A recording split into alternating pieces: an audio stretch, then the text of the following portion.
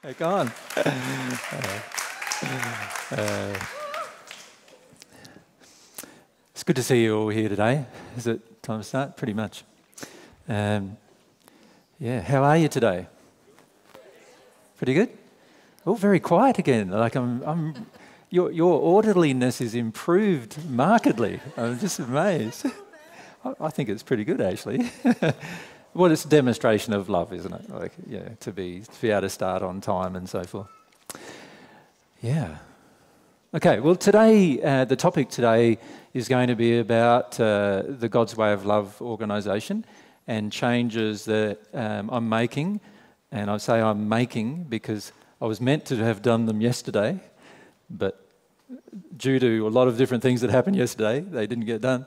Um, but there's changes that I'm making to the constitution of the organisation that I wanted to explain to you because it affects, uh, it will affect many of you and your choices and decisions you make in terms of what you want to do with the organisation, if you want to be involved with the organisation itself.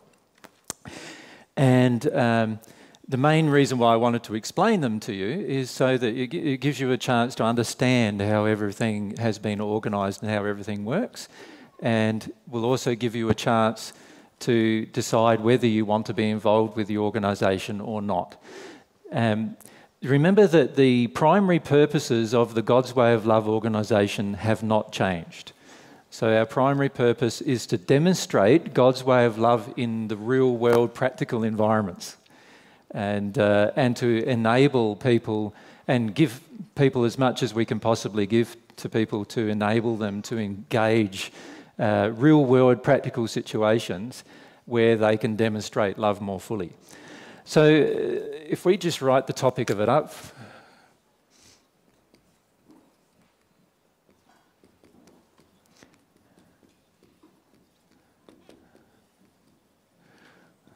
Organisation, and this is about changes to the Constitution. Boring topic, eh?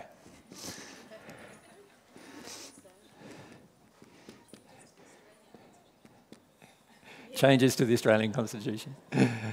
Constitution. Yep. Okay. Um, now, uh, I want to give you a little bit of history first um, because it's been now nine months in the approval process of trying to get certain approvals with the government. And in the process, uh, I'd like to describe to you what's actually happened. Nine months ago, myself and Mary's idea was more to what we wanted really the God's Way of Love organisation, ideally, to be known as a non profit organisation. And the main reason why we wanted that is because our goals and the Constitution itself actually demonstrates that it is a non profit operating organisation. That will remain the case. So, in other words, it's always going to have a non profit focus. However, what we wanted to do was we wanted to apply to the government, to the Australian Taxation Office, and actually get them to approve of it as a non profit organisation. Now, what happened was that uh, we put that approval process in play at the beginning of this year, so, so nine months ago or 10 months ago now. And um, what happened was that uh, initially there was, a, there was a lady looking after that process, and we had a number of conversations. And then somehow it all got lost in the pile.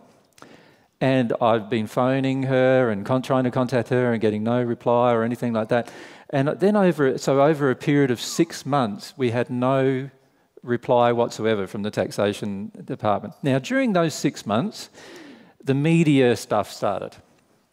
So, as you know, most of the media stuff at this point has been quite negative and misrepresentative. And when I say has been quiet, I don't think I've actually found anything that honest with it. Oh, no, maybe there's been one or two who have been quite honest with their dealings with this, but uh, the majority have been quite dishonest and, uh, and presented totally unfactual and, well, lies basically to, to the public. Um, knowing full well that I probably wouldn't do anything about that, which is exactly how I feel. Um, so, um, so what, what's happened during that time is um, the, we didn't receive any response from the taxation department. And so, about a few months ago, a couple of months ago now, I, I managed to find somebody in the taxation department who wanted to actually deal with the issue. and, uh, and they then started to handle the issue straight away. Um, now, what happened was, though, that they, they, they were happy with the Constitution with the exception of its membership. And they didn't like the idea of having founding members and associate members and general membership and having the, the founding members able to control the direction of the organisation. What they wanted was the general membership to be open to the public and therefore, and then the public controls what happened to the organisation. Now, as I explained to them, um, that would automatically mean that the person in the lowest condition of love on the public, who then became a member of the organisation, would then have a large degree of say about what happened to the organisation. And I explained to them that we couldn't really have that happen. The reason why we're creating the organisation is we want it to be demonstrating God's way of love and not mankind's way of love, which is, we feel, quite distorted and in its best situation and in its worst situation, not love at all. And in fact, quite a lot of fear based uh, feelings, uh, mostly associated with what people call love. And so, um, in this discussion, it became clear that they were not going to approve the organisation as a non profit organisation unless we removed those clauses in the Constitution that referred to um, people in a better condition of love having a veto of a vote of the general membership. So, in other words, they wanted the general membership's vote to be, to be binding and not there to be people who were in and accepted what, what the organisation felt was in a better condition of love, who could then veto the vote of the general membership to stop the general membership from taking unloving actions. Does that make sense? So they wanted me to change it so that the, the founding membership, uh, which is myself and Mary at this point in time, and it will only ever be myself and Mary because by definition we are the founders of the organisation, and the associate membership, which uh, under the definition of the Constitution is any person who becomes at one with God while they're on earth, can become an associate member. And the founding members and the associate members are able to change the constitution of the organisation. Now, if we allowed the general membership to change the constitution of the organisation, that would mean that if people who were not in a good condition of love took over the, the majority, became the majority of members, then the organisation would no longer reflect what myself and Mary had created, but now would go down in a different path depending on what general membership wanted it to do. Now, obviously, it would still have to do it in accordance with the laws of the land, but our concern is that many of the laws of the land are also unloving, and, and that's uh, not necessarily a good idea either. While we believe in following all the laws of the land, we don't feel that it's right to have the entire membership following certain, uh, deciding to change the constitution to suit the laws of the land that are unloving towards others. So, um, so our concern then became well, if we allow, if we do what the taxation office says just to get a non profit status for the organisation, then we're severely diluting the actual purpose of the organisation. And, uh, and myself and Mary both felt that we couldn't do that. So, so what, we've, what we've done instead is decided to keep it as a normal organisation. And when I say a normal organisation, that means under the terms of a normal organisation in the Australian law, um, the organisation could make a profit. However, with this particular organisation, the Constitution still states that it can't make one. Does that make sense? And of course, the directors are bound by the Constitution. So, so it becomes a non profit organisation still, because it's still got that binding part in the Constitution, but, the, but it has to pay taxation. That's basically the main difference. So the organisation itself has to pay taxation on any donation. Now, while paying taxation on general donations is quite simple, because if we're running the organisation as myself and Mary wish to run it, what happens is somebody might give us, say, a donation in the organisation of $1,000, and then we'll go and buy $1,000 worth of trees for that, right? And then we'll, we'll give those trees to somebody who wants to plant them. Does that make sense? So, in other words, we're now giving away the $1,000, so we've got a gift going out of the same amount of money coming in. From an, from an accounting perspective, we have to pay GST on the $1,000 coming in, so we have to put aside $100 to pay for GST. But because we're giving the gift out of the same amount, we can then claim $100 GST return. Does that make sense to everyone? So at the end of the day, it really makes no difference in the sense that we're still able to use the $1,000 of that donation to do $1,000 worth of things. Except for the accounting cost, but at the moment I'm doing the accounting, so mm, there's no cost associated with that. Now, of course, we have an accounting cost at the end of the year, but that, that's a, myself and Mary have been paying those, those payments ourselves. Now, the only time the organisation then is affected by the fact that it doesn't have a taxation, uh, a, a tax-free status, is when it has a profit. So, in other words, if we get $1,000 in and we only spend 500 then obviously we've now got a $500 profit in the organisation and then we would have to pay tax on that. Now, the current corporate rate's around 30% or so, so we'd pay 30% of $500 in taxation. Does that make sense? That's, that's how it works. Now, myself and Mary are very happy to pay taxation. We pay taxation in our day to day life. All of your donations, in fact, to us personally, we pay taxation on. So it, it's treated by the taxation department as income, and, uh, and then we pay taxation on that income just like you would pay taxation on yours. So we're perfectly okay with doing that. And we feel that the God's Way of Love organisation wouldn't hold on to money, with the exception if it wanted to build a big project that we were saving for. So if, a, if there was a big project, let's say a project on a property where we wanted to build a nursery, but before we could start we needed $50,000, then obviously we'd store the money until we got enough money to do the project, if that makes sense. Now, from a taxation perspective then, all we're worried, all we, all we need to be concerned about is actually just keeping the records. Now, what we've decided to do with the records is we want to make the records totally open. So, what we want to do is have all of the income and all of the expense records of the God's Way of Love organisation available to all its members. Does that make sense? So that way, every single person knows, and, and available to the public as well. So that way, every single person knows what's happened with different funds. Now, in the organisation, there are protections against the misuse of funds anyway, because no director is allowed to receive any funds, no member is allowed to receive any funds, and so forth. Um, so that will obviously have an effect. So, and we'll talk about the effects of this if you if people become members, and then we start giving funds to work on a property that they might be a part ownership on, then obviously there's going to be some issues there, and we need to talk about that. But what we want to say firstly is that the first change that how it affects you is that we will have to pay taxation.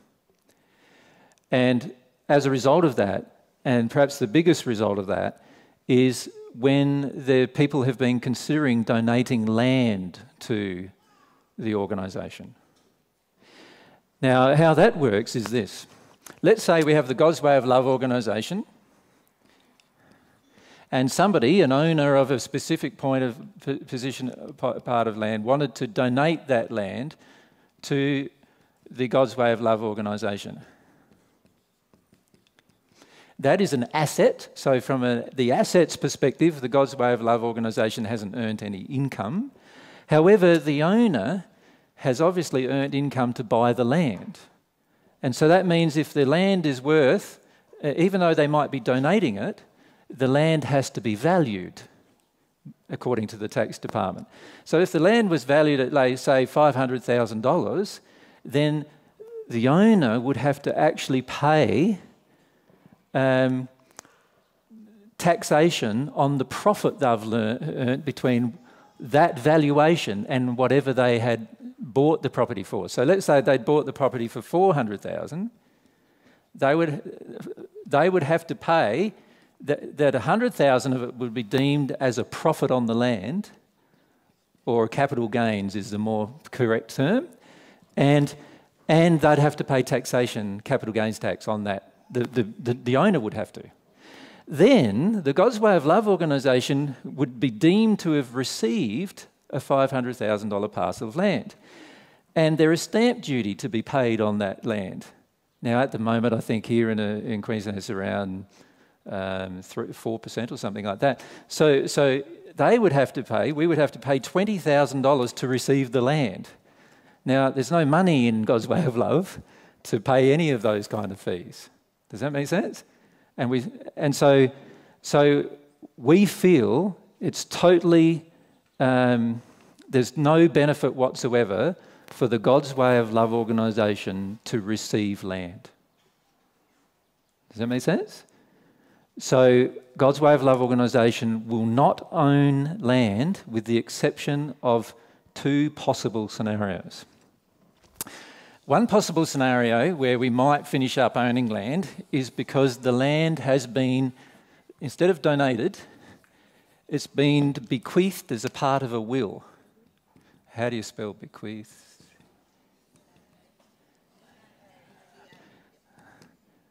Yep, as a part of a will. So, in other words, let's say somebody had been working with us for years and they passed and they, they decided that they wanted to have that land come to God's Way of Love organisation to be used for whatever purpose we want to use it for, then we would accept that particular land because there are no fees associated with accepting such bequeathments. Does that make sense? So we would accept that. The only other time is if somebody associated with God's Way of Love. Uh, could pay the stamp duty on the land as, as well as their own taxation problems with regard to the land.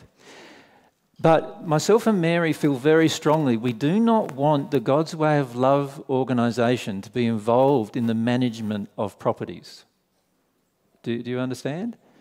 We feel the God's Way of Love organisation is there to demonstrate the process of giving to the world. That's one of its primary purposes. And, and as such, we don't see any point in owning land in that organisation at all. So while we may, under, under certain circumstances, receive land, the directors have to take into account whether the God's Way of Love organisation has the capacity to pay for the expenses of that land and, and manage the land, you see. And if we've got a very low bank account because we're spending all of our money as we receive it, then obviously we may not have that funds available, and so we might not be able to receive the land for that reason. And we feel we've come up with a much better idea anyway. And this is something that I'd like to present to you. So I'll leave that in place. That's our That's our organisation.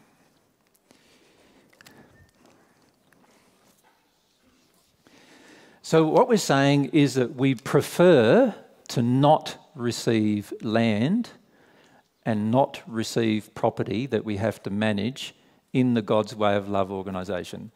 We realise that there may be certain circumstances and events that occur in the future where somebody wishes to do that and there might be some impelling case in individual case as to why it might be accepted. But we feel quite strongly that we don't want God's Way of Love organisation to be involved in the management of things like land, property, businesses, and all those kind of things. When we say involved, I mean directly involved. So, in other words, we don't want to create a business under the God's Way of Love organisation for doing a certain thing, for, for instance, providing food or something like that. We don't want to accept as a donation a business that does such a thing. right? Because we, we feel there are other ways to handle such things. The God's Way of Love organisation, we want to be more to be sort of an advisory, have an advisory role, and a, a gift giving role of, of their volunteers. Volunteer, volunteers.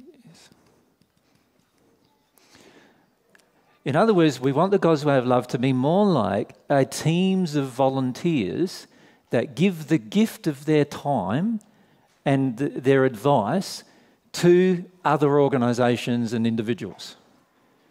Rather than the God's Way of Love organisation itself becoming this great big thing that owns all this property. You know, we don't want it to become like the Catholic Church, in other words, like owning all this property, owning all these, you know, all these things that have been donated to it. That's not what we wish to do. What we wish to do is to use the funds in all these different areas. So, any funds that are donated, we want to use in different areas in order to promote God's way of love on the earth. That's, that's the idea. So, we don't see God's way of love as being in an ownership role of any property or business or institution. Does that make sense to everyone? Yep. And feel free to ask questions if you've got any. What we see is the God's Way of Love organisation being involved in giving the gift of our time and our knowledge that we discover through processes that we've got in place to the world without then being, needing to be any return back to us. Does that make sense? So, in other words, we're in the process of giving the gift. Now, that then uh, raises a number of questions. If we want to set up a learning centre, which we certainly do wish to do around the earth, and the Constitution has the capacity to set up learning centres, then how do we do so when we don't own any land? How do we do so when we don't own the property that the learning centre will be on? And what we've done is we've come up with um, this, what we feel is a great, a great alternative. In fact, we've we wondered why we hadn't thought of this alternative as original as the original alternative. Um, it was so good, uh, we feel. But I would like to explain to you, firstly, what we are going to offer to, as part of God's way of love. There will be many people who own things. In other words, they might own things like property, They might own things like a business or a company. They might have be a part of an institution or even a part of a, of a government department or something like that. Right?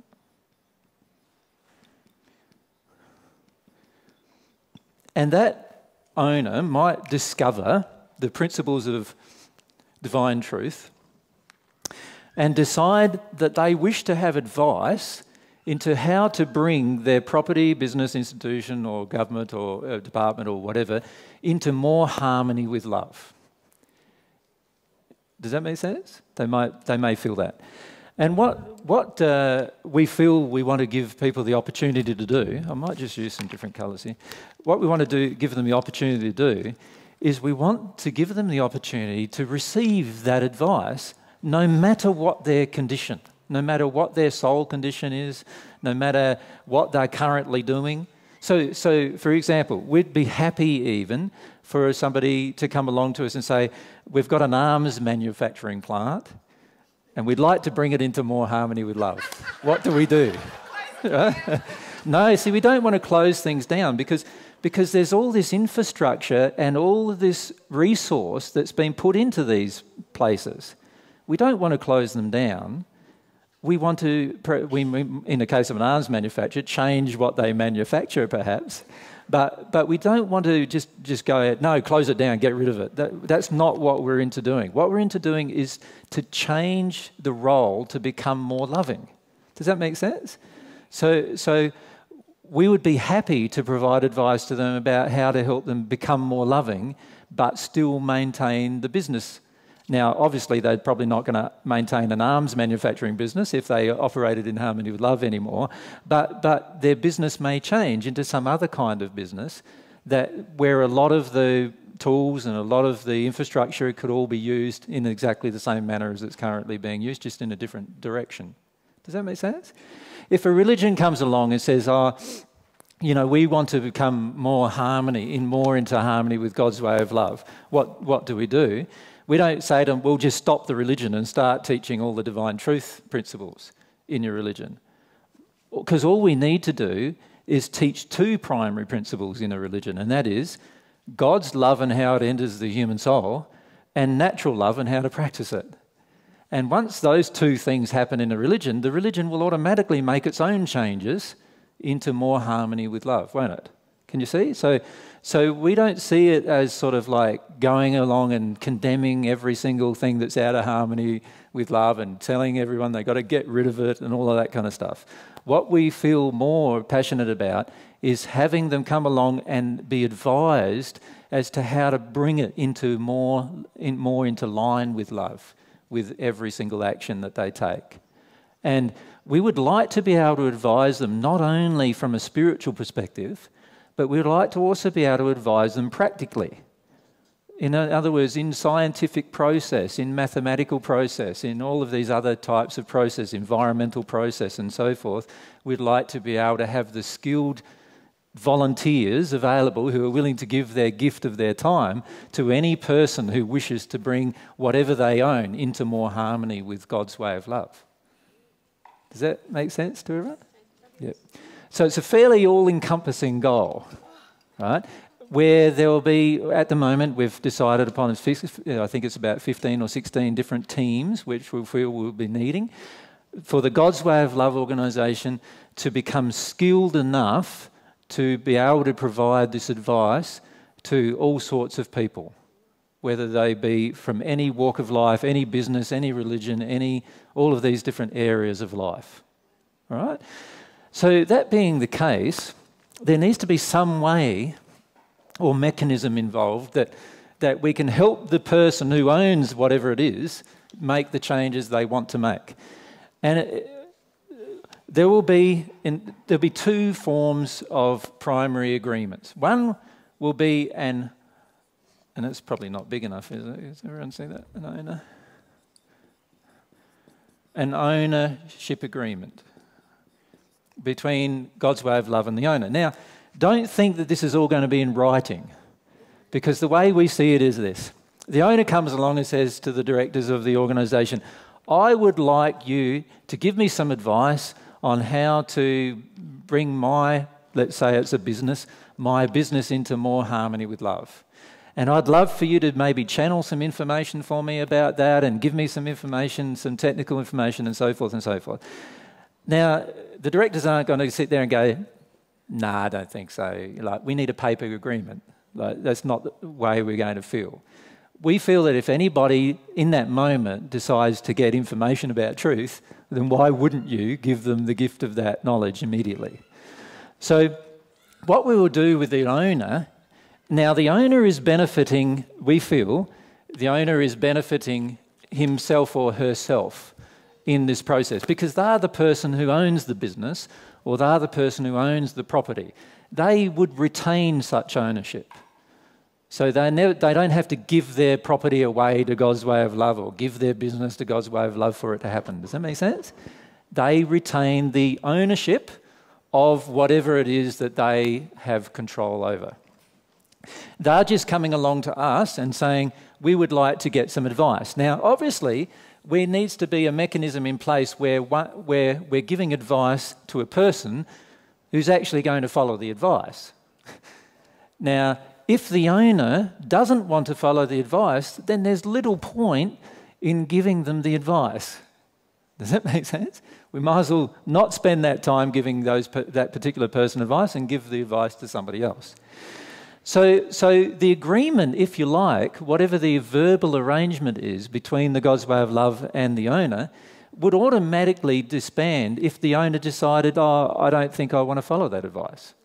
So, in other words, uh, we, we would then say, well, that's fine, but don't come and get any more advice because you're wasting our time. And we, we are volunteering our time, and our time should be valued. Like that's a simple point of love. So, so the agreement between the owner and God's way of love is basically simple. If the owner desires to follow the advice, then the God's Way of Love organisation can continue to provide the advice. If the owner decides they don't want to follow the advice, which is their right, then the God's Way of Love organisation will not give them any more advice until they want to follow the previous advice. Does that make sense? Just a simple verbal arrangement between the owner and the organisation. Joy, if we could have the mics. The mics are coming down the sides today. So not up the middle because that way they don't. It's just a simple comment. It's yep. really what you already do at Kyabra. It's, it's already what we do at Kyabra and also already what we do up here with the group of people who own a property up here. Yes, exactly. Um, so what we're doing um, down at Kyabra, for example, what Joy's raised, for those of you who don't know, is Kyabra Station is a sheep station owned by uh, a company which is controlled by a group of people.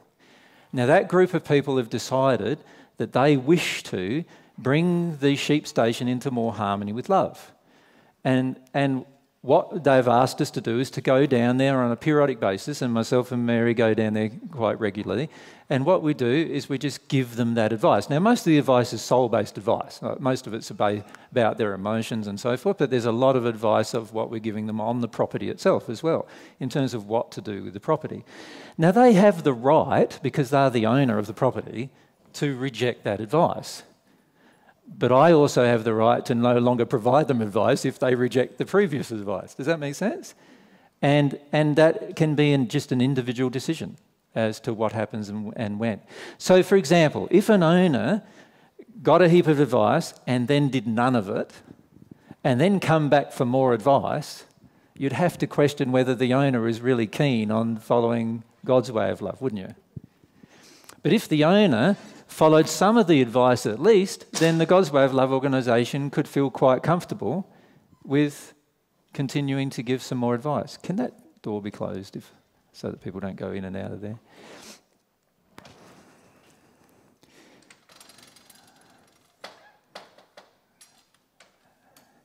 Just give it a yank, babe. With you push down and give it a yank.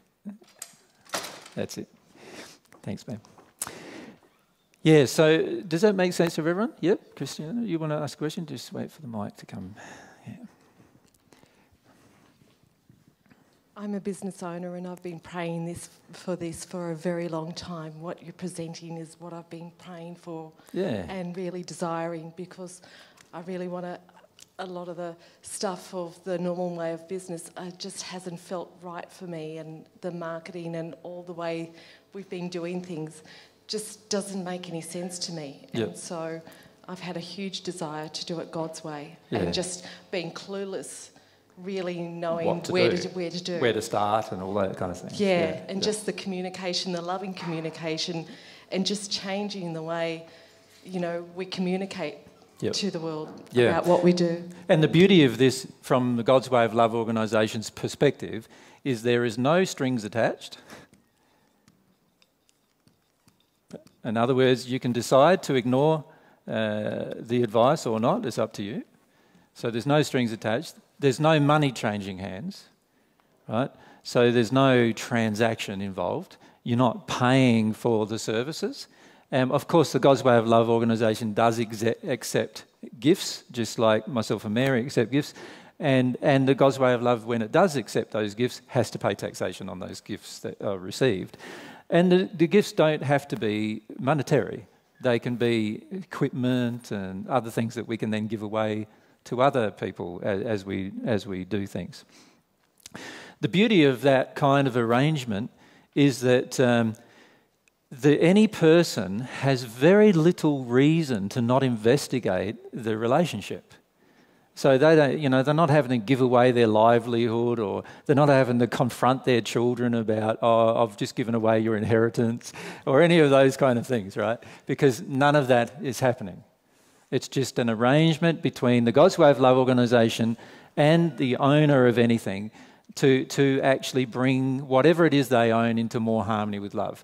And the God's Way of Love organisation recognises that the owner has a selfish motive in that process. And when I say a selfish motive, they, in this case that I'm giving you, they are not concerned about giving something to the world or something like that. It's they wanting to do business or they wanting to have their property look better or, or you know they have some kind of personal motivation and that's okay with us. As long as it comes into more harmony with love, I don't see any problem with that. Does that make sense? Um, so, so that is one kind of arrangement that we will make with people. Now, of course, the only thing we need to know from the owner is who do we talk to to discuss matters and when, basically, and of course their contact details and so forth. So the owner may appoint, let's call it, if it's a group of owners like who own a business or it might be a company who, who owns a business, um, the owners would appoint what we feel is a person who's an in between, the in between person. What should we call them? Well, mediator, I don't sort of go for that much because mediator implies that, yeah, the mediator replies that there's something to mediate, and we don't see that there will be any disagreement because if there was a disagreement, there's already no strings. There's already, it's already, the arrangement has been disbanded. We, would prefer to call them just a representative.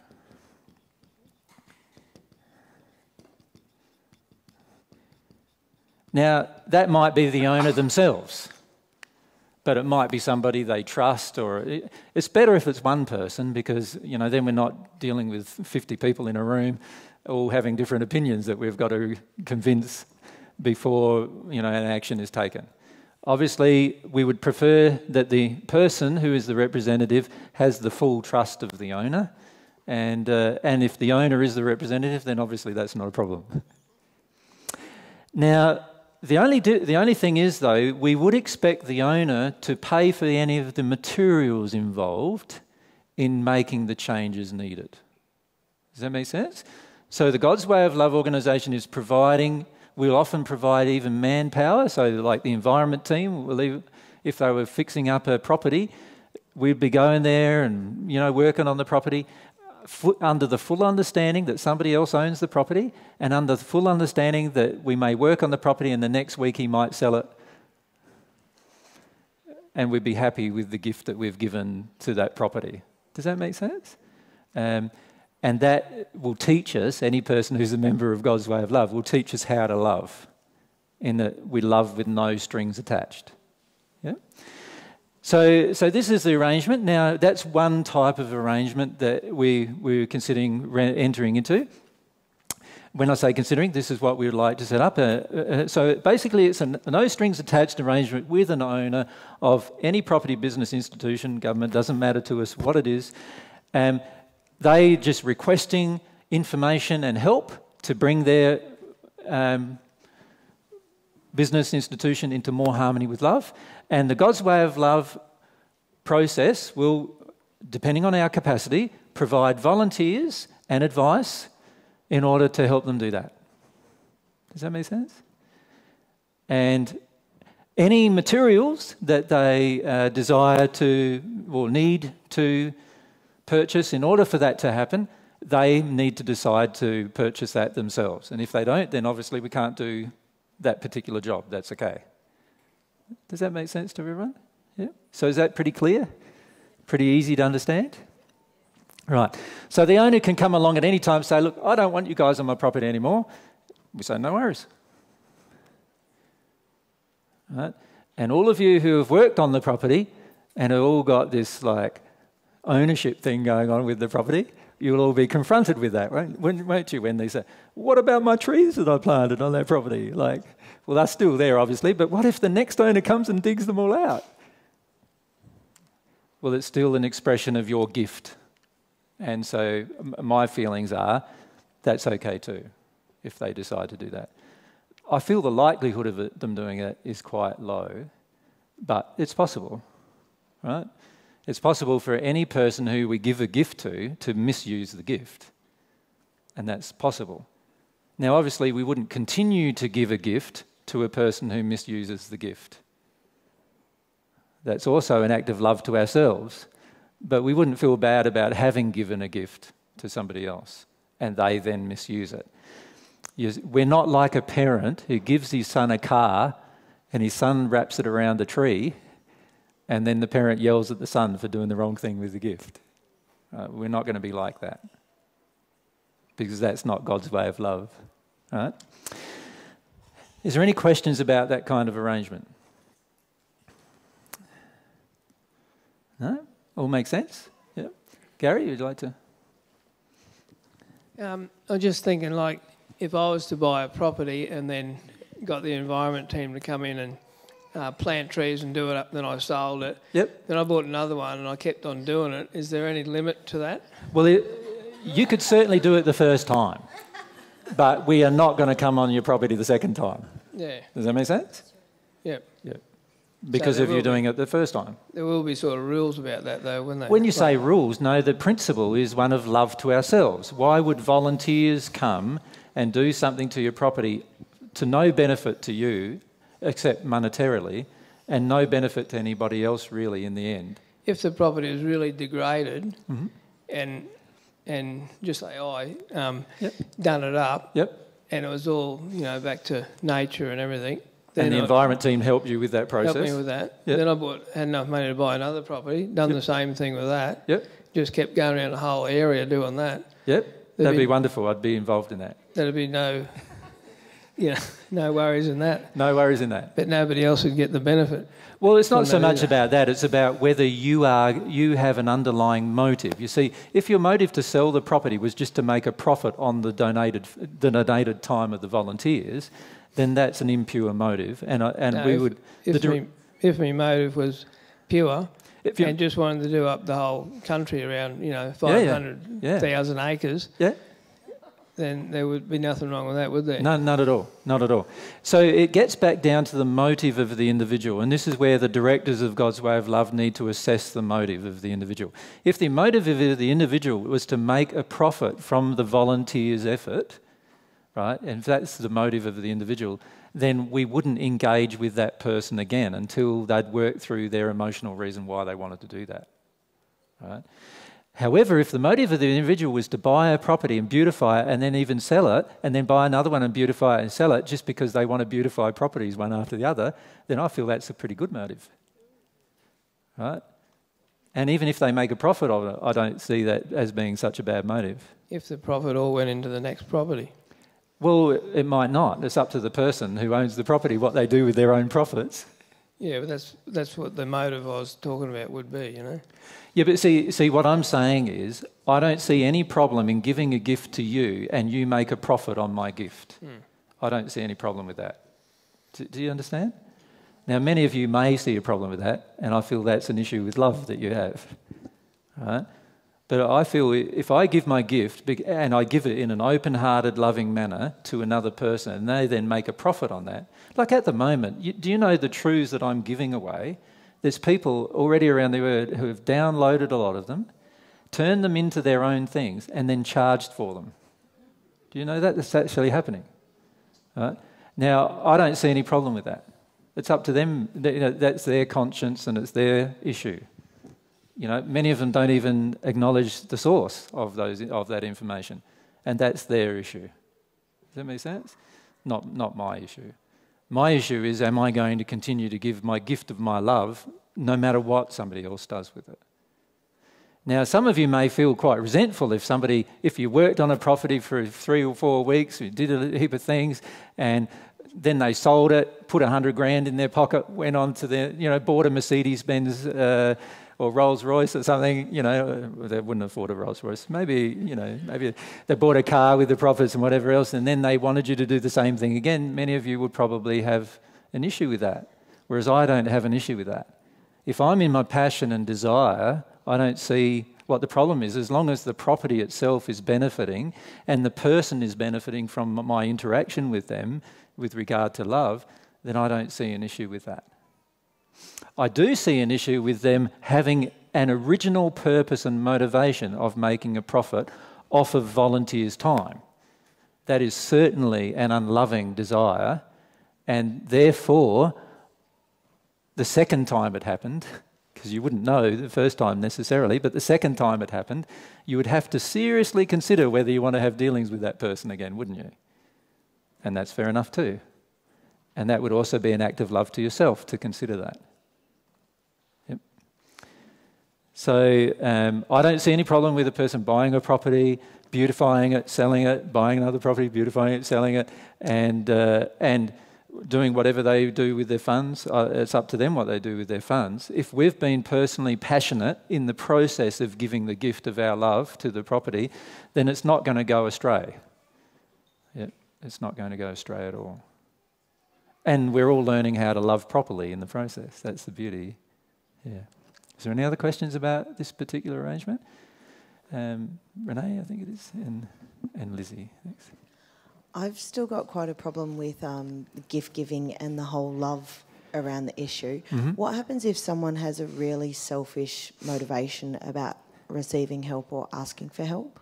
Well, then, then we'd soon discover that motivation, and part of the God's Way of Love advisory process would be to advise them. Well, we actually feel that you have a selfish reason for you know wanting people to give you gifts and you, you demand gift. You, you're not receiving them but you're demanding of them. And we can't enter and in fact there's a clause in the constitution actually of the god's way of love organisation that says that we will not give a gift to anybody who demands it because it's out of harmony with love to do so right?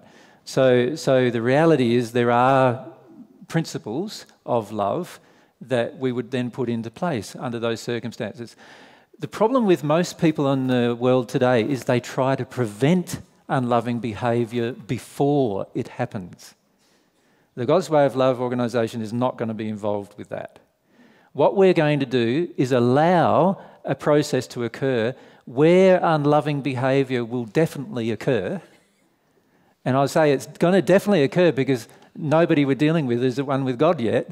So the unloving behavior is definitely going to occur. And then what we want to do is advise that person, or you know, the owner in this case of a person, property, or whatever, um, the owner, not of a person, of a property, of a business, an institution, or government. We want to advise them how to bring it into more harmony with love. Now, if they reject such advice, then the arrangement is broken.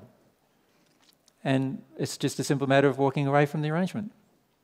Now, if they've purchased all the materials involved in the process, all we do is basically we're just stopping the volunteer effort and stopping the advisory process. Does that make sense? So it's really quite simple. And we, but we don't want to make a heap of rules before we begin the arrangement because that doesn't give the person the opportunity to act unlovingly. Did I hear that right? Like, you see, we need to give people the opportunity to act, whether it be lovingly or unlovingly. And if they act lovingly, we want to, we want to encourage such behaviour. And if they act unlovingly, we want to address such behaviour. Do we not? That's what God does with us, isn't it? Right? That's what we want to do. So we're actually giving these owners opportunities to act unlovingly with us. That's what we want to do. And when they act unlovingly, then the God's way of love of advisory, you know, whoever is advising them, whoever has that personal relationship goes, well, it talks to the representative, says, well, you've acted unlovingly here. Can you see this? They explain why and everything. And then the person has the chance to change their behaviour. They have a chance to go, wow, yeah, you're right, actually. I didn't think of it that way. Uh, you know, I didn't realise that was going on. And they have the chance then to change, do they not? Now, if we don't give them the chance to act unlovingly by making a whole set of rules before we begin, that then say, if you act unlovingly here, if you act unlovingly there, if you act unlovingly here, then we terminate our agreement. They're not allowed to make any mistakes at all. Now, who does that sound like? Doesn't that sound like your mummy and daddy not wanting you to make any mistakes at all before you begin your life? Like, that's not what we want to replicate. What we want to do instead is to give them the opportunities to make mistakes and the opportunity to see how they're going to react once it's addressed. Now, if the reaction is unloving when it's addressed, now that's a different matter. That's something that we can deal with separately, right?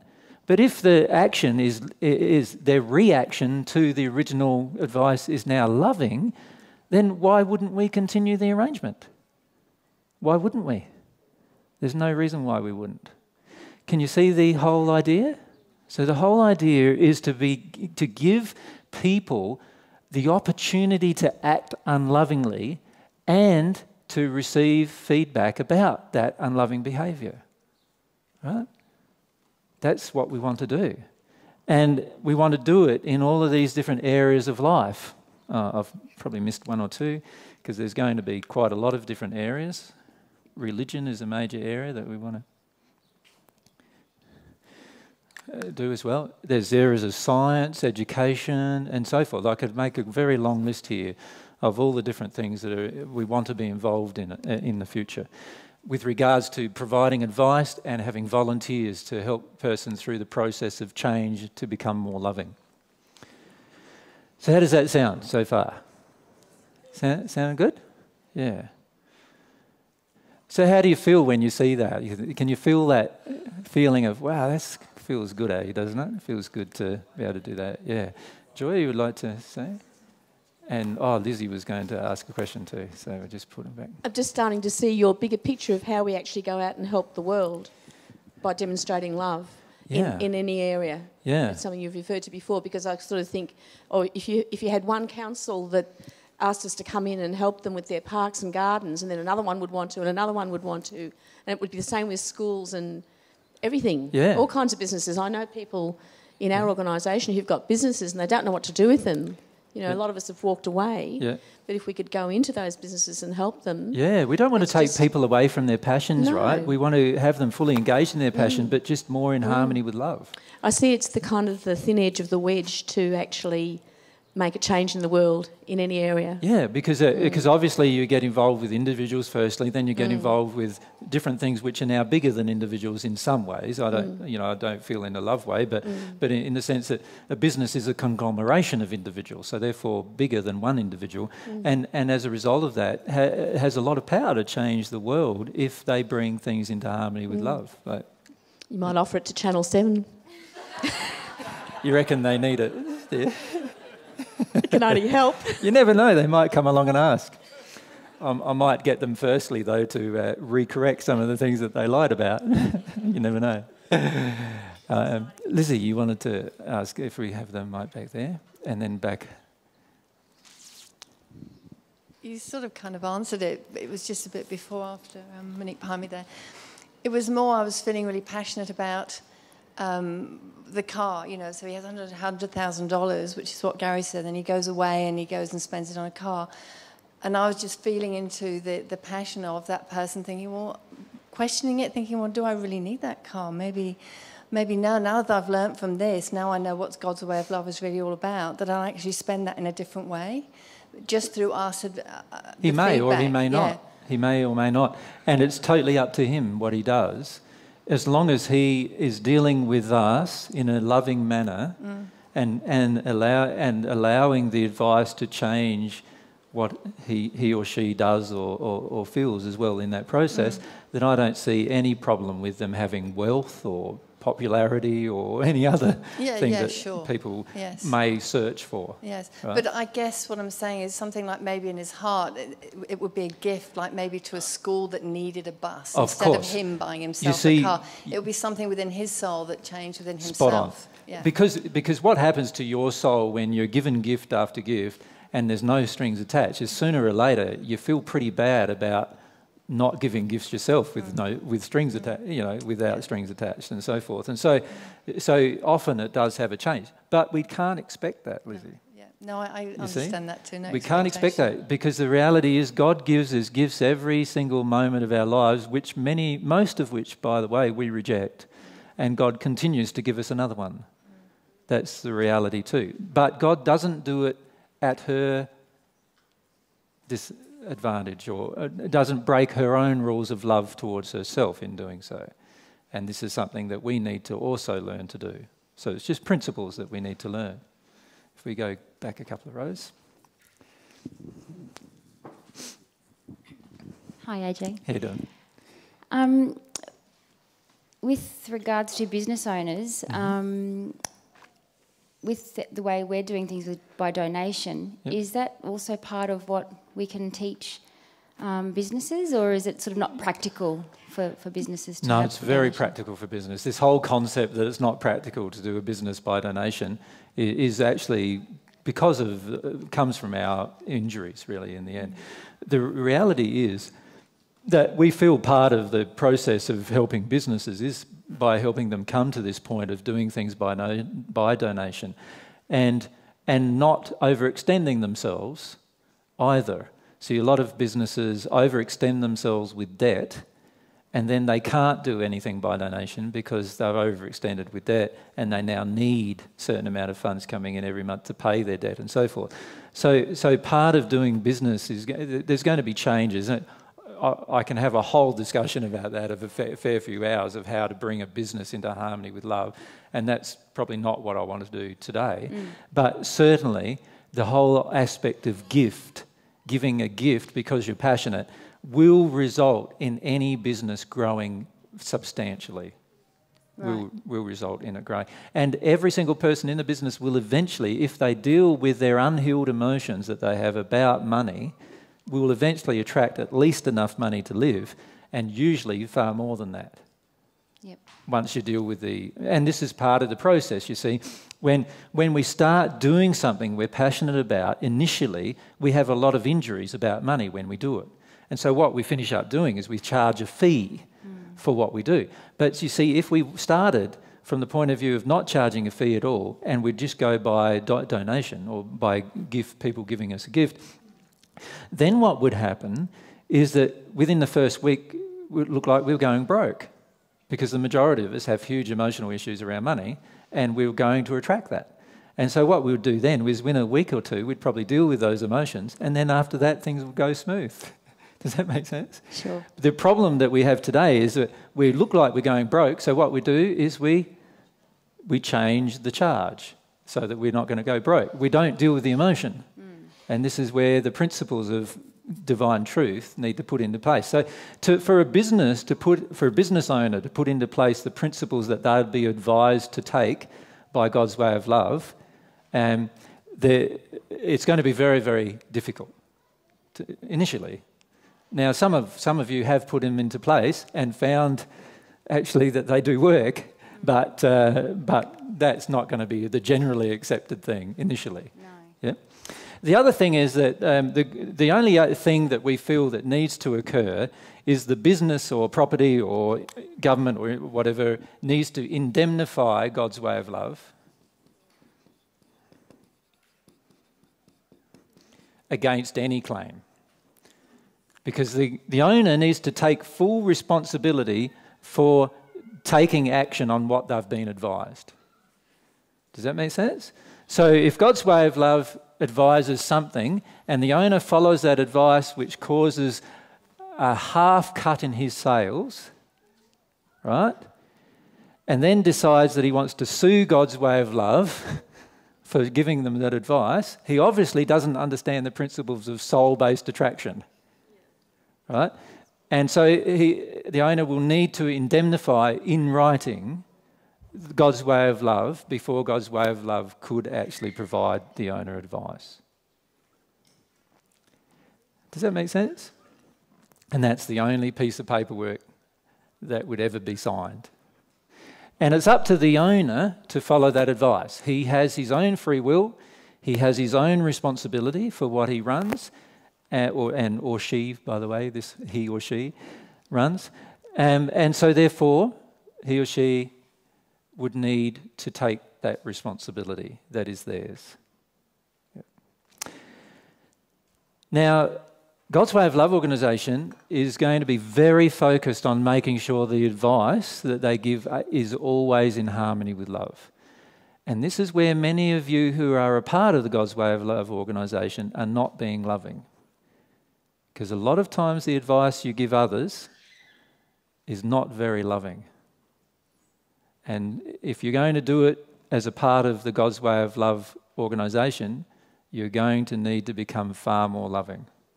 For example, some of you who are mediums have a tendency to provide advice to other people about their lives. The majority of times, you're not being very loving. Now, we would need to address that, you see. If you we're going to be very careful in the organisation that the advice provided under the guise of the organisation is actually loving and truthful. And that means that people are going to have to learn to not open their mouth unless they know for certain that they're being both loving and truthful. We're far better off in the organisation saying nothing than we are saying the wrong thing.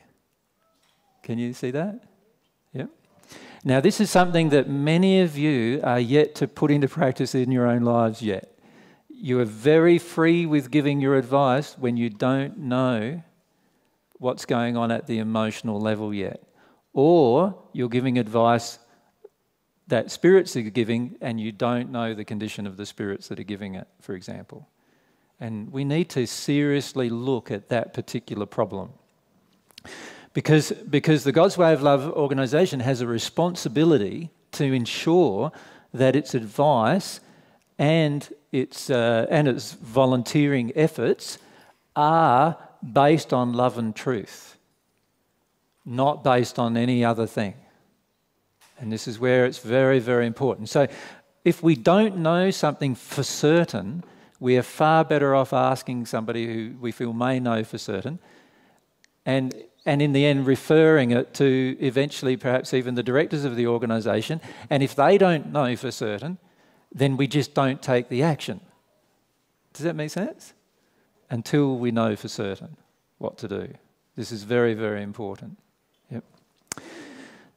Now, does that make sense, that arrangement? Let's call that an owner arrangement or an ownership arrangement. Uh, Jen, you'd like to ask a question? Yep. So, and then come down to Laurleen on this side. If we can microphone down here.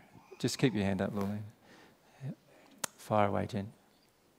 I think you've partially answered my question already, but however, I will ask. Um, what kind, I understand in a concrete form, the, um, the labouring capacity of, say, the environment team, Mm-hmm. but uh, in, what other, in what other forms would the God's Way of Love provide service to community bodies? In every possible form you could think of, Jen. Yeah, So, okay. so you know, I can think of I can think of hundreds and hundreds of different situations where we definitely want to provide a service, and and uh, rather than me list them all, if you could just think of every single way and walk of life that you could in, you could imagine, we would want to have some kind of service being able to pro- be provided. So then, if we're not in the condition to know To know um, answers or Yeah, can I just state something So- about answers? This is about giving the gift of you to another. It's not about giving them answers. Can you see the difference? You see, many of you I think, uh, think that you, when you speak the words to another person, that you're actually giving them a gift. Sometimes you're not, because the emotion coming out of you is one of condemnation, criticism, judgment. That's not a gift.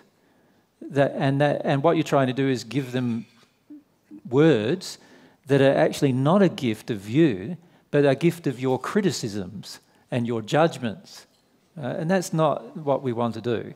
What we want to do is learn to give the gift of ourselves, our time in particular, to another person, and do it because we love doing it, not because we feel we have to.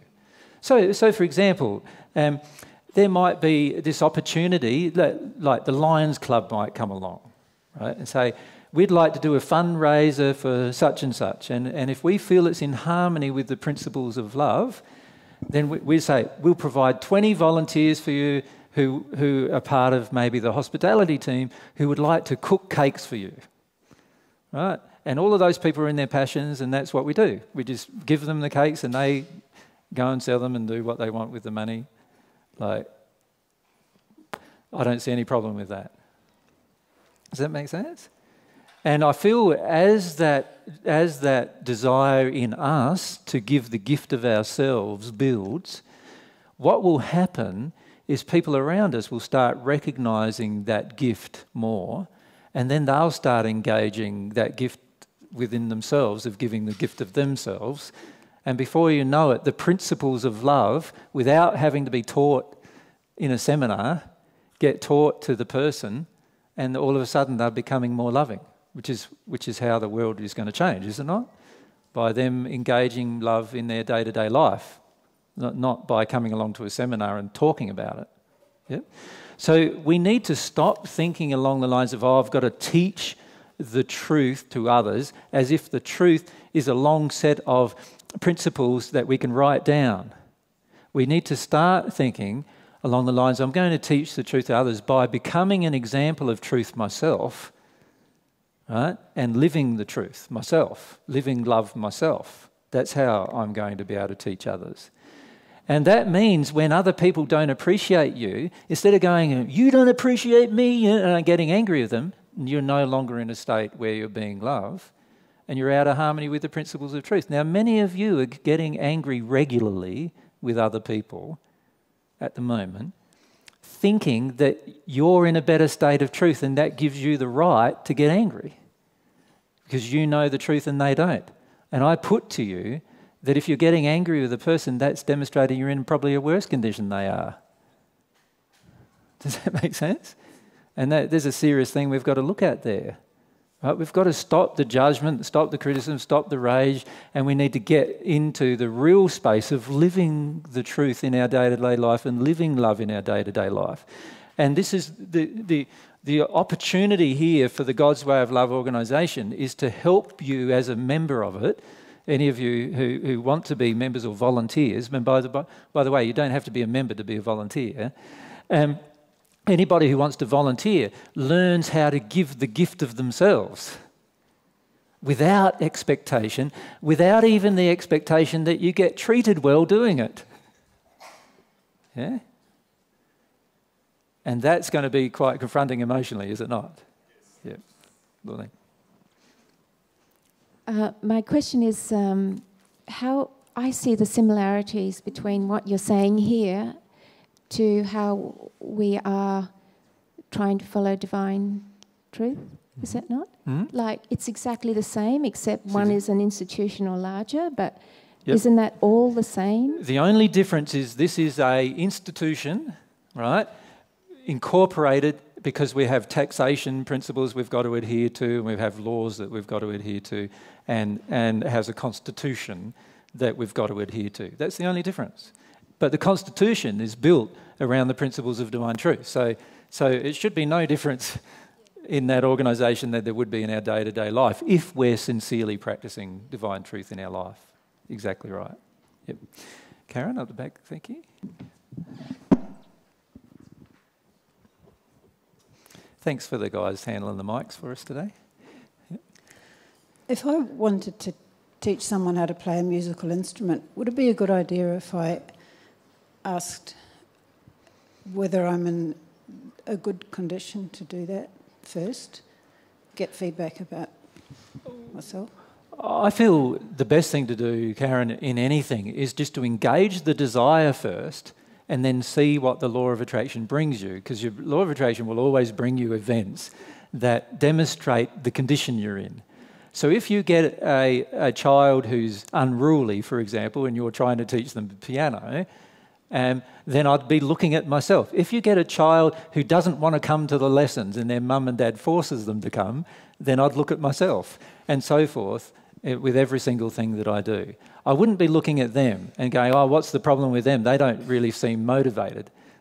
Right? The reality is they're not going to be motivated while they've got an overbearing person trying to treat them piano.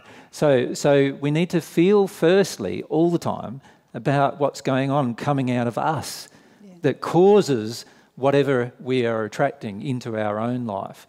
So, so, so if we have a thing where we're teaching a musical instrument, for example, and we have five students and none of them are motivated, then we need to look at our own soul condition as to what is creating that lack of motivation in all of our students. Does that make sense? Yeah. Yeah. Focus that on that first. But focus on your desire because if you don't ever do the desire and you sit down there questioning it before you begin anything, you'll never begin anything. Because that's just a desire to be perfect before you begin.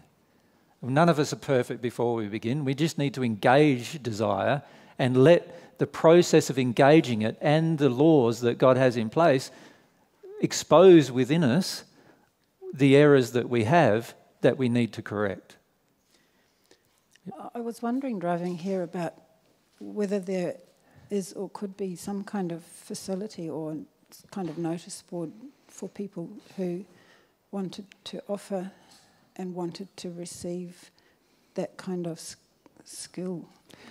Well, no, because God's way of love is not in the process of maintaining or running businesses or m- merging skills. However, it has a volunteer army, if you like, of people who are willing to give the gift of their time in an advisory capacity and the gift of their time physically to people who want to engage them. We don't want to get involved in the management or maintenance or the or the you know oh this person's got a house to let you know we put that up as an advertisement. We're not in the process on God's way of love of making advertisements. Like you don't see me making advertisements even uh, with regard to divine truth or, or, God's, or God's way of love. And my feelings are that we will never advertise or assist others to advertise their services or, or whatever it is that they are providing, even if they are providing them for free. They need to look at their, what I would call, law of attraction as to if they feel they have a gift uh, to offer and nobody's taking it up, then there's some emotional reasons inside of themselves as to why those particular things are not occurring. Like all of all of you um, are here right now because you took the chance. You, you, you, looked on a website to find the uh, time and so forth of being here that I personally created with my own effort and time. And I didn't expect you to create that for me. And it'll be the same principles with dealing with these owners. We're not going to create a heap of things for the owners. There's got to be if, if there's love involved and desire on the, and, and passion on behalf of the owner, then the owner is going to have to do quite a lot of the work that's going to be involved in making the changes. Does that make sense? And that, that's understandable, is it not? If they have the passion, they would want to. That's the reality. So, God's way of love is not about making things happen for people, it's about exposing the principles of divine truth to the person. So, so, in other words, a person comes along and says, Look, I've started up my business and I've put it in harmony with you know, love with regard to gifts, but nobody wants to give me a gift. and, we go, and we don't go, Oh, uh, all right, well, no worries, we'll drum up a heap of business for you with people who want to give you a gift. That's not what we're going to do. What we'll do instead is we go, okay, we need, there's a principle here that with God's way of love, and that is the principle of the law of attraction and what your soul attracts. So, what you need to do is the advice we need to give them is what you need to do is look at the law of attraction as regards to money. What, what are your belief systems about money? What are your belief systems about gifts? What are your belief systems about what you're doing? Are you doing this for a pure motive or are you doing it because you want people to pay you and so forth? Does that make sense? So, what, what that, that will do is enable the owner to work through their own emotional condition, which is the primary controller of their property, business, and so forth, and they then will be able to address that particular issue. Does that make sense to everyone? And this is why the advice that needs to be given has to be given in harmony with love. Because you, you might think it's loving to go, oh, this person's got a lovely service. I'd really like to see it happen. So we'll help it. He'll, he'll help him do it. Well, that's not what we're about. We're not going to do that. We're going to help him create it by changing his soul, not by some physical effort that we do. Does that make sense? Now, now that principle is going to be a very important principle. It's actually in the Constitution. If you read the Constitution, that principle is there. Right? And this is what we need to do. And this is where the directors of the organisation will need to take care with the different choices that they make so that we have this arrangement where the owner themselves has some soul changes happening. Uh, in regard to their business or their property or their institution and so forth. Yep. Does that answer your question, Karen? Yep. Igor? So um, this is basically the future, isn't it? There's no other. This gift-based economy. There's no other that will work. That's right. It's not a barter-based economy. What we're what we're about, and one of the things that the 14, and you'll, you'll hear a talk tomorrow from uh, Bella and Corny about why the 14 have returned. One of the reasons why the 14 have returned is to actually introduce a gift-based economy to the world. Yeah. Yeah. Thank you. Interesting concept, huh? A gift based economy. Not a barter based economy. Can you see the difference? Very different. Yep. What happens when one of the volunteers the, from the God's Way of Love organisation who's growing and learning makes a mistake in their advice? Um, then obviously it's up to us as an organisation to correct that mistake the arrangement we would have to have with the owner, the owner has indemnified us against those kind of things anyway. It's an indemnity that covers all things. And so the owner can't ask for recourse. But, but the God's Way of Love organisation, if it was sincere, would certainly want to apologise and try to repair the damage of such advice. So this is something we'd definitely want to do if we had the means at our disposal to do. But in particular, the individual involved would need to do something about that. And if they don't, they don't want to, then we have to consider whether we can allow them to continue being a volunteer for the organisation. Yeah? Now, don't feel that being a volunteer is a right. There's this order, there's sort of this assumption at the moment with the teams that, oh, I can rock up at any team, it's my right. And many, many of you, for example, with the mediumship team, many of you are coming along to the mediumship team and you're not in a passion to do mediumship. You just come along whenever I give a talk for the mediumship team. The real people who are in a passion to do the mediumship come along if anybody was giving a talk to help the mediumship team, no matter who it was. That, that, are people in their passion. And what we want to do is we want to stop taking actions because we think we're missing out, and we need to start taking actions because we actually desire them. And this is a part of the God's Way of Love organisation. So, part of our role as directors of the organisation and team leaders in the organisation is to confront the team members with what they're doing and bring it into harmony with love. That's a part of the leadership process to bring the, le- the teams into more harmony with love. So, the chance then of somebody just giving advice that's out of harmony with love would reduce. Does that make sense? If we, if we do it that way. Many of us sort of feel that I, I can be a member of this team and that team and this team and that team and this team and that team. And the only reason why I'm a member of all these different teams is because I feel like I'm missing out if I'm not a member. And I want to receive the emails and I want to know what's going on, which is another emotion. Right? My suggestion is to reappraise your own membership of any team and ask yourself are you really passionate? Because if you're really passionate, then we've got something we can work with for that particular team. You're better off being on one team that you're really passionate about than being on lots of different teams because you just want to know what's going on. Now, the way the teams will work is that the teams, and I'm just in the process of setting this up at the moment, the teams will have their own email addresses, and the teams are going to be worldwide teams. So, in other words, a person from any place in the world can be a member of a team. The, team, the worldwide team will have a leader, and then there might be sub leaders, if you like, in different locations. But they'll all be under the control of a leader of those particular teams. Right?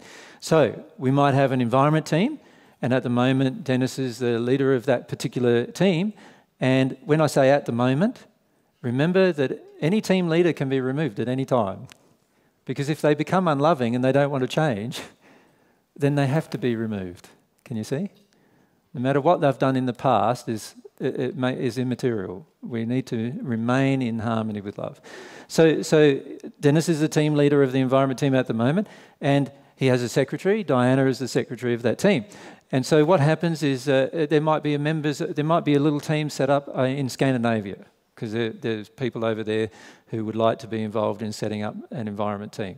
Now that team in Scandinavia would come under the uh, management, if you like, of the team leader who is currently set up here in Australia. But, but that team would be educated by the team leader. So that might mean the team leaders finish up going to Scandinavia for a week or a month or something and helping the team learn a lot of basic principles. And because Scandinavia, in some places, it's uh, cold, you know, six months of the year, um, compared to what it is here, um, the team leaders might finish up learning quite a lot from the people there about the environment in the process, which will then add to that knowledge store that we have that we can then give as a gift to others. Yeah? So that's uh, the kind of things that we probably arrange. And it's already happening as well. Is there any other questions about this owner arrangement? Huh? We've exhausted that, have we? No worries. Okay, now there are some kind of things that the God's Way of Love organisation would like to set up. And one of them um, is a learning centre in different locations. So, what I'm stating now applies to the owners who wish to set up a learning centre, which will be a different arrangement. Now, the reason why it will be a different arrangement is basically this.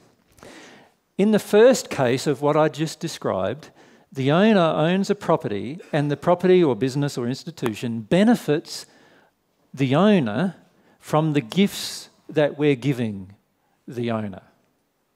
So, the God's Way of Love organisation is actually just giving gifts to the owner, and then the owner is doing what they will with those gifts. That's the first arrangement.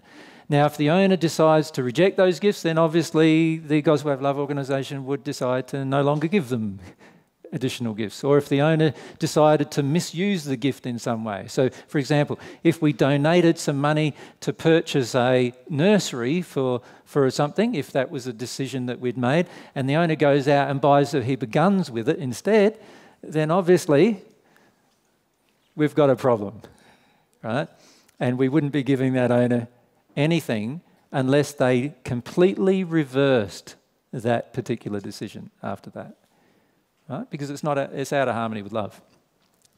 But the owner is benefiting personally, in this case, from the gifts and the of what the volunteers are giving. Now, there's a different type of owner that we'll come against. And this different type of owner is not interested in the personal benefit of what we do for them but rather is in a, interested in a benefit to the world.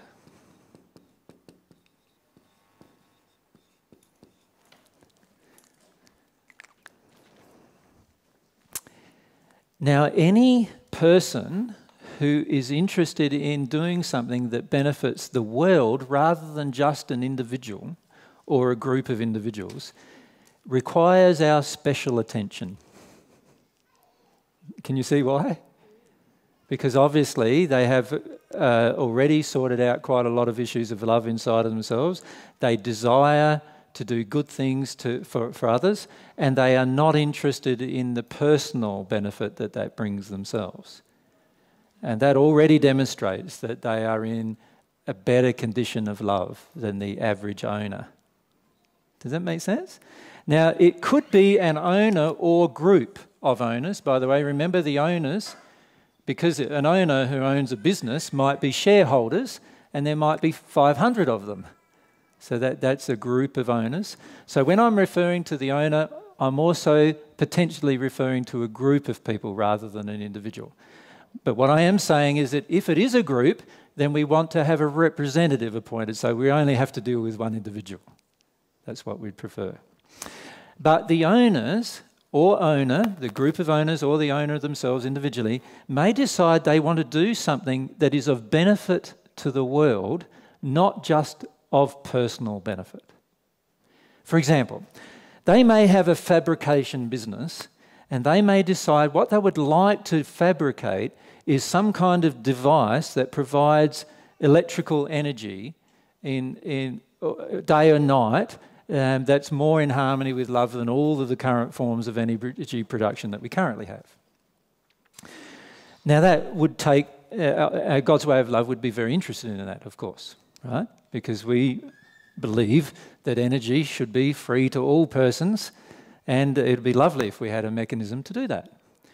So we would enter a, an arrangement with them where we would provide volunteers and gifts, but also we would, we would strongly consider providing monetary assistance to such people because the benefit is to the world. Now, the proviso would be that they do not copyright or trademark the development. Does that make sense?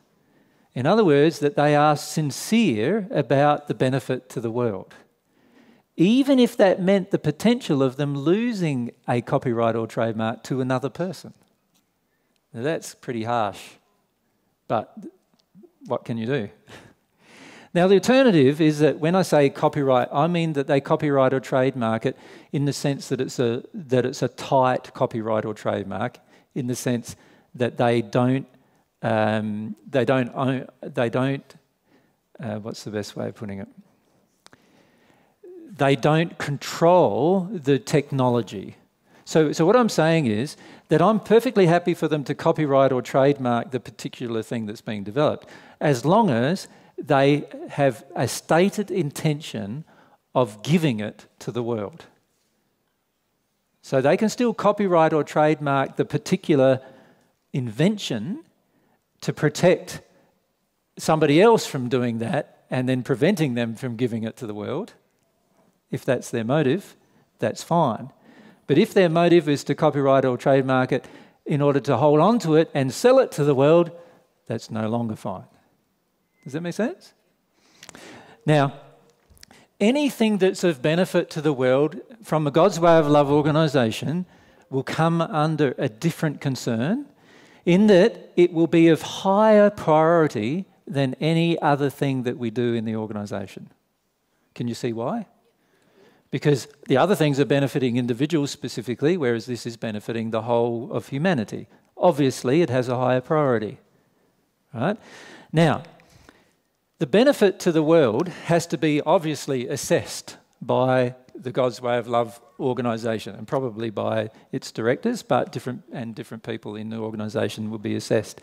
Now, if we see it as benefit to the world and we see the owner has a sincere desire to bring it to benefit to the world, then we are very happy to use any and all, even all resources that we have to make it happen.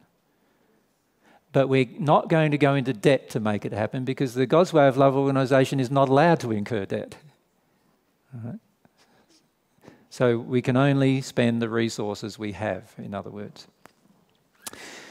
Now, benefit to the world, you can, if you think about it, there's a lot of different things that might come under that banner, is there not?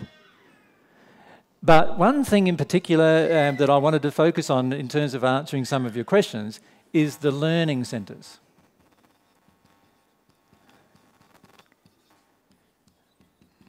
Because we feel our learning centres, the learning centres, would be of benefit not just to a community but to the world. And we feel that anything we do on the learning centres, we would also need to have a focus of the benefit to the world.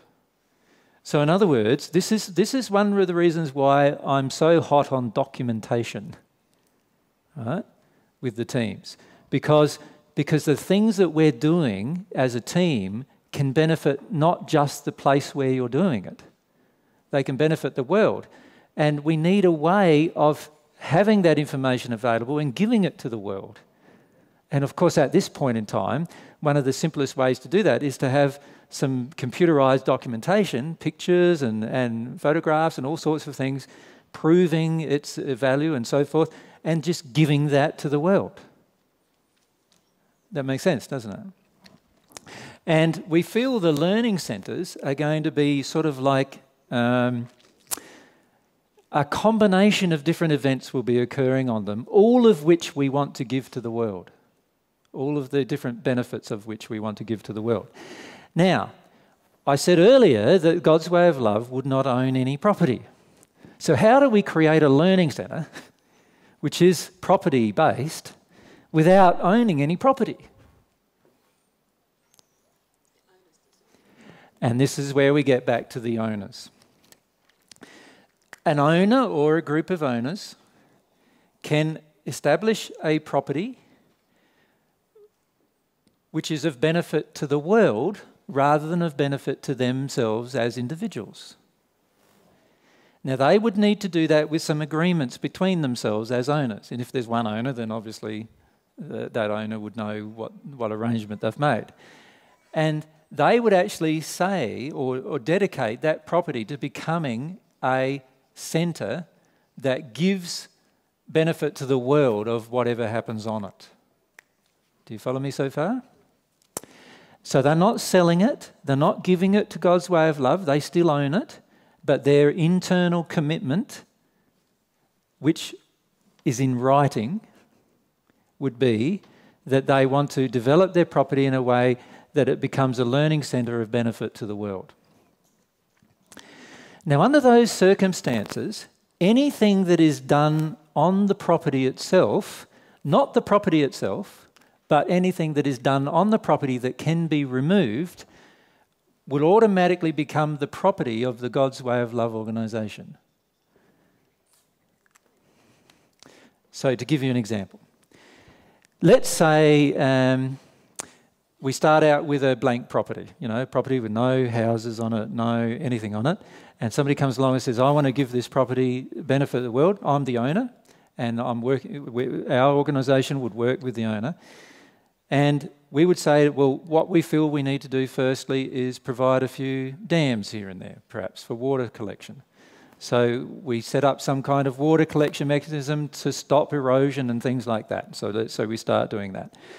Now, the owner would pay for the majority of that, although because he's now said it's a learning centre, we may also decide, if we had the funds available, to assist him with the payment of those particular things. So he builds a dam. Now, the dam's not movable. Once it's there, it's there, and it's pointless really removing it unless it's in the wrong location. So, so that particular benefit has benefited his property, has it not? It hasn't benefited God's way of love just necessarily just yet, except in terms of its demonstration purposes. That's all. So that has now enhanced his property. So in that case, um, his property has benefited, but also God's way of love has benefited because we've managed to do a few things and learn through a few, few things in that process. And there's a lot of people who have been involved in the process that might have learnt a bit more about love by their interactions and so forth. And that's all beneficial. But let's say now that we've got some dams on the property, we decide that we want to create a seed bank on the property. Right? And a seed bank might involve the construction of some kind of uh, uh, uh, dwelling or, or, or um, you know, shed or storage area or so forth. And, and, and shelves and all sorts of all sorts of things, even computer systems and so forth, to keep the whole thing documented and, and so forth. And so we start to build that on the property. And then the owner says, I don't want it to be a learning centre anymore. What we would ask is that the owner then gives us all of that movable equipment that we can move to another property which is, uh, which is designated of benefit to the world, and we can continue that project. So, on the learning centres, there would be particular projects that would benefit the centre itself, and then there's particular projects that are of benefit to the world. And these projects that are of benefit to the world we wish to retain control of in the God's Way of Love organisation as much as possible. Does that make sense? Because they not only benefit the learning centre itself or the, or the owner or the group of owners, but they have a longer term benefit to the world in general. And we would like to make sure that, that, that our effort in that particular regard continues. Now, under those circumstances, the property would benefit through the different things that we do to the property, hopefully. if we do it lovingly, of course, it would always benefit. Um, and, and then the world will benefit through the example that's being given on the particular property. And there's a lot of things that can go on then in the learning centres themselves. Now, because of that, the owners would need to decide collectively whether they're willing to accept the advice of God's way of love for the learning centre. And if they want to do that and the, they want to make the property of benefit to the world, then we set up a written agreement with those owners about that property. We're not taking away the ownership of the property. The, the owners still have the right to sell the property. They still have the right to, you know, to stop the agreement.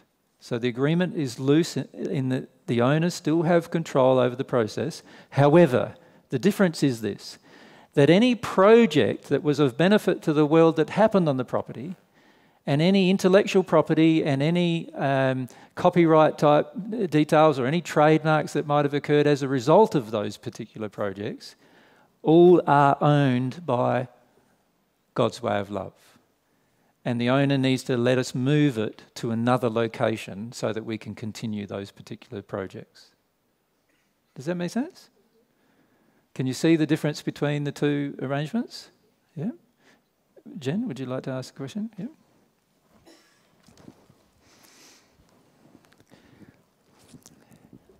How do those assets then reflect back in regards to your very first comments about taxation?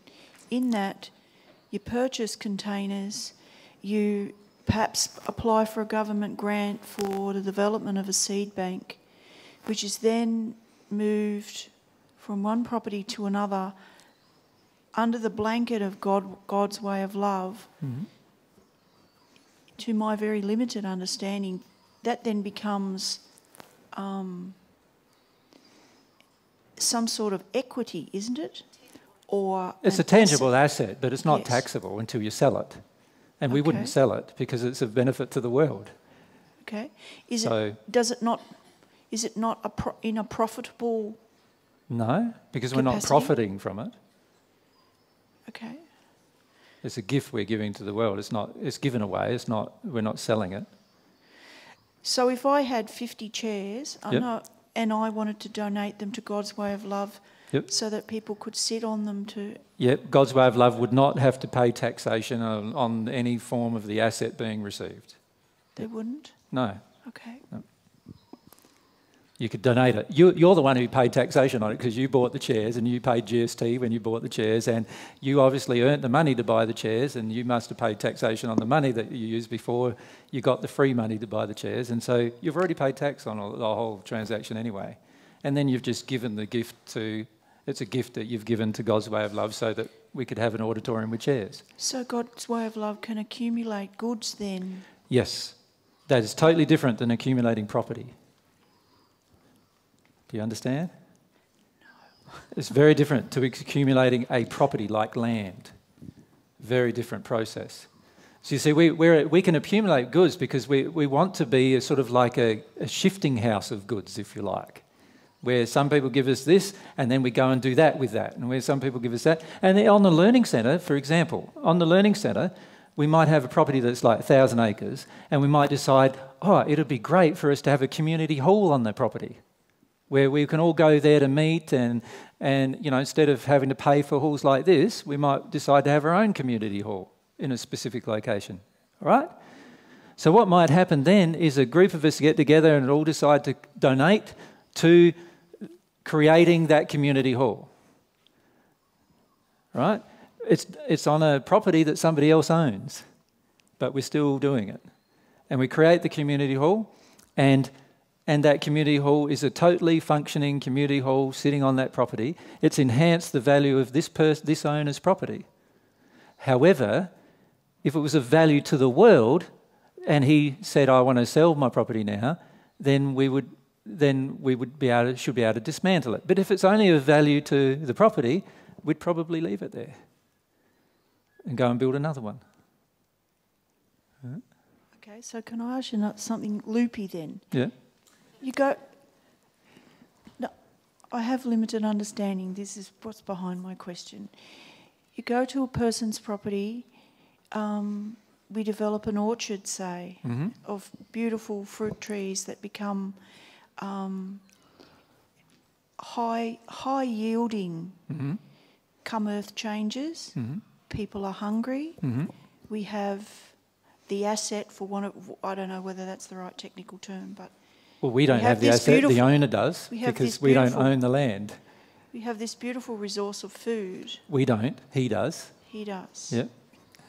And so then it would come back to the owner's intention as to what he did. Yeah, exactly.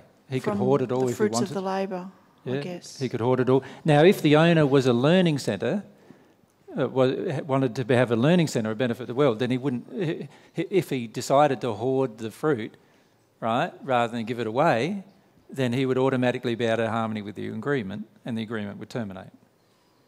Does that make sense? But if the owner was just an individual owner and he didn't have a learning centre agreement with us, he's allowed to do what he wants with his fruit trees. He could even rip them all out if he wanted to and cut them all down, Even if we planted them for him. even if we planted them for him. Yep. Okay. Can you see how it tests your viewpoint of love? Yeah. Even if we planted it for him. Yep. He could decide to pay charge fifty dollars for, it, although you can't do much with fifty dollars in in an economy that's worthless, right?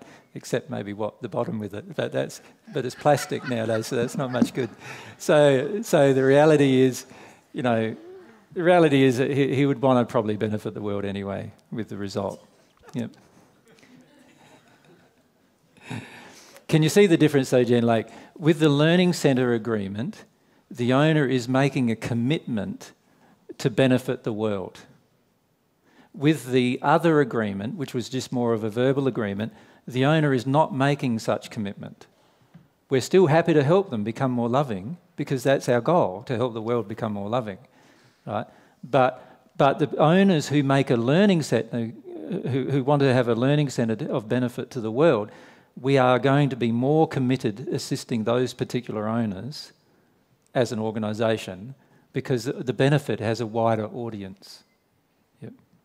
Does that make sense to everyone? Like, because the benefit has a wider audience, we want to spend more of our time with that particular thing. When the benefit has a very narrow audience uh, or a na- narrow recipients, then it makes more sense for us to spend the time where it's of larger benefit. Yep. Yep. Yep. Graham down the front.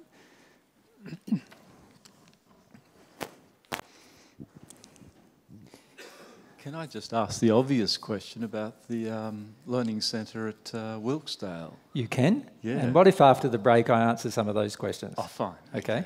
Because what I want to do firstly is present to you the general overview, and then I'll prevent, present to you what I've discussed with the current owners of the learning centre there. Does that make sense? And we'll, we'll, we'll work our way through that. Yep. Okay. Is there any other questions that are more general? Uh, Joy, thanks. Um, is there another area of, rather than learning centres, would be maybe inventions like alternative power? Totally. Remember, remember the category is not a learning centre category, it's a benefit to the world category. Right? This one, I'm having a struggle with this thing to get it off. So it could be anything to do with cleaning water, inventing new power sources. Yeah, it could Um, be any type of project that benefits the world. So the benefit to the world is not just about land or property. It could be about inventions, it could be about specific processes, all sorts of different things that we feel are going to be of benefit to the world, not just something that is a land or a specific location. Yeah? Because it reminds me of um, all the projects that uh, were in Pascus, Mhm. all had that. But it's a question of whether the owner is of the heart to want to benefit the world by gifting it. Yes. The, the question that, that the God's Way of Love directors need to assess is whether there's a feeling from the owners that they do actually have a benefit to the world going on or if they got some personal things happening.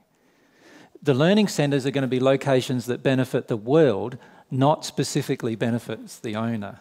And the owners need to give that consideration before they make the agreement. Does that make sense? So the owner may not be able to live on their own land under the learning centre agreement, whereas the owner of the other agreement would certainly be able to do anything they wanted. The difference is going to be that the owner of a learning centre is going to be committed to the benefit to the world rather than the benefit to themselves. Do you see the difference? And they're going to have to demonstrate that, that commitment. Mm-hmm. Yeah.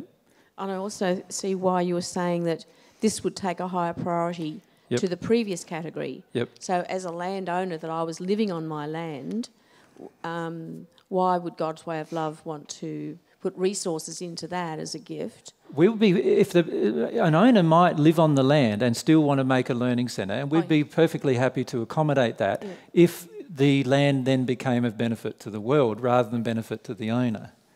But we'd have to assess the owner's personal commitment to that process, wouldn't we? So in the discussions, you find that what happens sometimes is you feel, oh, they want to live there, and then they want this and they want that, and and after a while, the list of wants get fairly long, right? And you go, yeah, there's not there's not a consideration of what benefit to the world here. There's more of a consideration of benefit to yourself.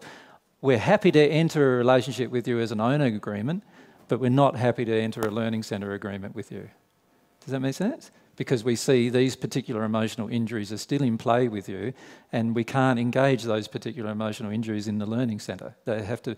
So, so the reality is, the owner might be asked to leave their own property, and be willing to do so, if they weren't in harmony with God's way of love. Now, the owner who's fully committed to a benefit of the world would do that. They still own the property, but they'd be, they'd be willing to do that. An owner who's not fully committed to the benefit of the world would not be willing to do that. Does that make sense? Mm-hmm. So, so for example, in my property, if I made a commitment as a, if I wanted a learning centre to be in my property, and I made a commitment with God's Way of Love organisation that it would become a learning centre, then if the God's Way of Love organisation determined through, and, and obviously there'd be a process of talking to me and talking to me about my condition of love and so forth, but if they determined that actually the condition of love of myself was worse than my own property, and that it'd be better for me to live off of it for a while until my condition of love improved, then if I wanted something to benefit the world, I'd probably be willing to do that. But if I didn't, if I wanted something to benefit myself, I wouldn't be willing to do that. And then the agreement would be just become an owner agreement and not a learning centre agreement. Because that's an owner agreement. An owner agreement, he's allowed to have personal benefit. He's allowed to do what he wants on his own property. With the learning centre agreement, it's a bit different. What we're doing is we're committing, the owners, the owners or the group of owners are committing to God's way of love, not the organisation. I mean, actual the principles of God's way of love, and a benefit to the world. They're actually making a personal commitment to that, which is a very different step, which takes a lot more courage than than the original agreement would take. The original agreement basically takes no courage at all. You just say, yes, I'd like some assistance, thank you very much. Um, and, and all it is is just this thing that happens a to and fro. Oh, here's some information, no worries. I'll take with that and do with that what I want. And if what I want happens to be in harmony with love, then God's way of love will continue the arrangement. The Learning Centre agreement is very different because the Learning Centre agreement is the owner is basically saying, or the group of owners is basically saying, we are committed to making this property of benefit to the world. And we are committed to following the advice given by God's Way of Love organisation to do that. Even if that means we ourselves are out of harmony with the love that we say we want to, to actually engage. Now, I put to you that if a person was really sincere about practicing divine truth principles and God's way of love principles, they would not have any. Um, delay in wanting to improve their own soul condition, ever. And I put to you that a person who is sincerely feeling along those lines, it would be highly unlikely they'd ever be removed from their own property if they really sincerely desired to do that. Does that make sense? But it may happen. And, the, and, and they need to acknowledge, we need to acknowledge before it begins that it might happen. Now, they retain the ownership of the property. They are still able to sell the property if that's what they wish to do. But if they wish to sell it, then all of the projects that have been done on the property that can be moved would need to be moved so that we can move them to another property that's of benefit to the world. Does that make sense? But we actually see this kind of agreement as being a very long term uh, agreement uh, and very close sort of agreement anyway, where the owners are really committed to the principles of divine truth and practicing divine love in their life. And, and I feel quite strongly that I don't want to enter into any agreements with any owner that create to create a learning centre unless I see those particular things inside of them. Yeah. Any other questions about this? Right up the back, thanks. Um, the mic will take a little time.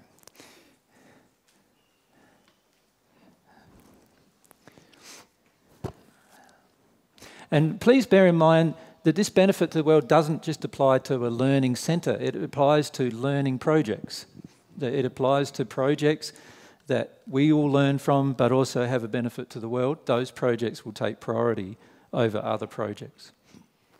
Uh, I'm not 100% clear, but basically, if you're in your passion on your property and, say, creating like something beautiful there, and you want it as a learning centre um, to benefit the world, but to start with, you're happy doing most of the work, is that okay? Or well, there's a difference between the learning centre and the owner's personal property, like in a way. If you're an owner who owns a property, it might be, let's say it's a 100 acre property of your own that you own. Now, that doesn't specifically loan, lend itself towards being a learning centre anyway. Like, it's usually the properties that are, that are much larger that eh, lend themselves towards this kind of thing. So, so I would suggest that that's just an owner based property who wants to practice divine love and put those things into action. My suggestion is the majority of you probably want to do that anyway, mm. right? So, so you don't really need an agreement with the God's Way of Love organisation to do it. You just might you, you just might want a bit of extra attention or a bit of you know somebody to walk around the property and give you some advice and so forth. And all you need to do is phone or ask, and and hopefully we'll be able to arrange something but not at the expense of setting up a different type of property, which is the learning centre type of property. Because the learning centre type of property is a benefit to the world, the owners need to allow God's way of love to manage the property. Do you understand the difference? In the other way, the owner still managed the property. He, he, the owner was still doing things based on the advice that he or she decides to take or not take. Right? In this particular arrangement, in a learning centre arrangement, the owner won't have a choice about taking the advice. When I say they won't have a choice, if they decide to not take the advice, the agreement is terminated. Do you understand the difference? So, in the first case, the owner can decide to not take the advice or take the advice, and the agreement may remain in place depending on what goes on. However, in the benefit to the world projects, if the owners do not take the advice, then the project is terminated for obvious reasons, mm. if you think about it. If, they, if they're not going to do what God's Way of Love organisation suggests for them to do, then why have they got the agreement in the first place? They're obviously not committed to doing that. The constitution of the organisation is very clear and any person committed to entering into a benefit to the world project needs to understand the terms of the Constitution. And the Constitution states very carefully that we want to give everything to the world for free, right? And we want to practice the principles of divine truth and divine love in every aspect of, the, of our life. And that in a learning centre means in every aspect of the learning centre. So the owner doesn't really have a choice in the sense that do I decide to follow that advice or not? The owner just has the choice do I decide to make my property a learning centre or not? And they're allowed to terminate the agreement at any time and no longer make it a learning centre. And by the way, God's way of love can terminate the agreement at any time and say that property is no longer a learning centre. Why would we want to do that? Well, what might happen is we might give the owners a certain set of devices. This is what we want to do on the property. And the owner says, No, I'm sorry, I don't want that happening on the property. But I, am happy for other things to happen on the property. And we go, Well, no, here's the, here's the loving things, like we list all the loving things. And the owner still goes, Well, no, I don't agree. I don't, I don't want to do that on the property. Well, God's way of love might then decide, Well, this is no longer a working arrangement anymore. And so we would terminate the agreement which would mean that every project on that property that can be moved will be moved. Any project on the property that can't be moved will remain. So if we've planted a thousand trees, fruit trees on the property, we would leave them there. We wouldn't cut them down or move them. Does that make sense? But if, and even if we've paid for them, we would not move them. And we would not even ask the owner to give us payment for them. Do you understand? Because we'd treat that as a gift. However, we would request that any movable project on the property that's of benefit to the world is actually moved to a property that we can use as a learning centre or use as benefit to the world still. And that way, although some of our work might be lost, not all of it will be lost. Hmm. Do you understand the difference? You, Mike. AJ, have um, what you've been telling us so far has have you uh, taken it a step further, or are you telling us first before you approach the tax department or the government? You know what I mean? As, as to the changes that have to be made um, there's no changes that have to be made to the Constitution at this point that prevent us from doing what I'm explaining to you. However, I am going to incorporate the two types of agreements one defining of benefit to the world, and the other defining of benefit to the individual in the Constitution.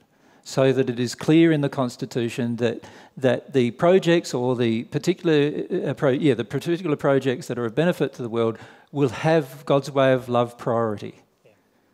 Um, so I am going to add that to the Constitution. But the Constitution, as it is right now, does not stop us from doing any of these things anyway. Does that make sense? So we can just go ahead now uh, as it is. Yep, we don't need to worry. All we need to be concerned about, and all I need to be concerned about from an accounting perspective, is that I need to account for any income that comes into the property, uh, into God's way of love, sorry, and expenses that go out. Now, remember that that I don't have to account for anything that happens on the owner's property because they have to. Does that make sense? And this is a beautiful thing for me because it means I don't have to do a heap of accounting. the person who's the owners need to worry about that, not me. Right? It also means that we're not, we're not into the process of managing or paying the bills of the property. The owner is still responsible for that. Right? So, in other words, the God's Way of Love organisation, in a learning centre arrangement, the God's Way of Love organisation will not be responsible for any payment of bills on the property. The owners are still responsible for that. They are responsible for all payments on the property. Now, if a person creates a learning centre, there is a higher likelihood, and they have a full commitment to that, there is a higher likelihood that they will receive donations towards that learning centre that will benefit humanity than there would be if they did things on their own without it being a learning centre. Is that not the case? If you knew that a person was committed to making a learning centre rather, or benefiting the world rather than just benefiting themselves, you would be far more like generous generally with your time and, and, and your resources than you would be with a person that you know is just being self serving. So it'll soon work out whether the person's being self serving or not, you know, as to what happens. We feel the uh, learning centre arrangement, the beauty of the learning centre arrangement too, is that it requires a lot of trust. It requires a lot of trust on the behalf of the people who are volunteering because they're spending time, their time and effort, on something that they don't own. Right? It requires a lot of trust uh, in terms of God's way of love, in the sense that we're giving monetarily of funds that have been donated to owners that may eventually say, I don't want to do this anymore. Right? But it also requires a lot of trust of the owner because he's got to trust that what we're doing on his property is going to be okay. And obviously, we want to make sure that everything that's done on the property is in harmony with the laws of the land or that particular country.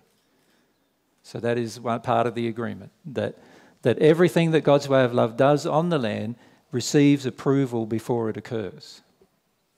Does that make sense?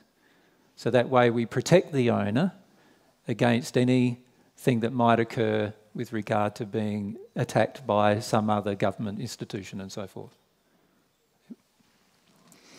Is there any other questions about this arrangement?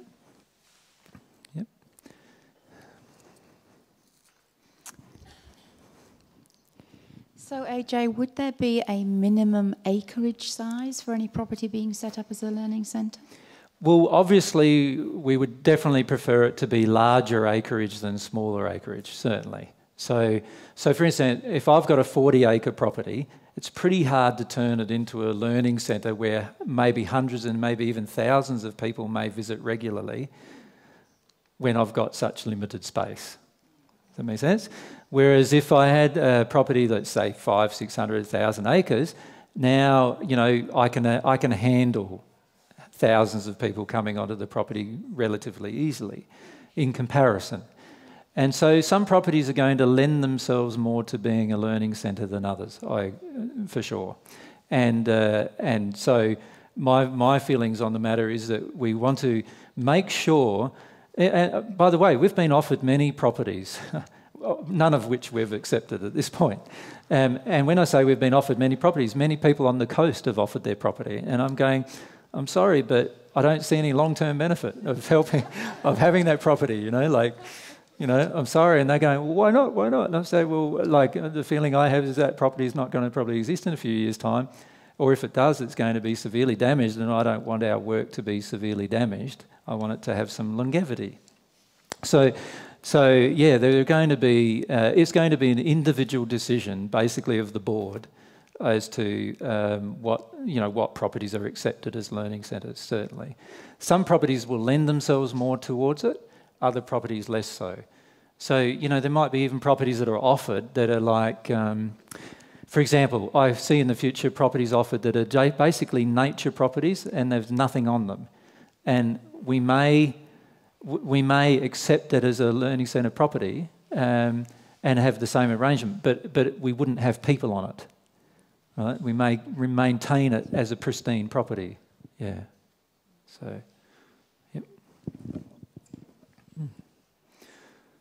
Okay. Oh, yeah, it's two hours already. Is there any other questions um, that you'd like to ask about it? Uh,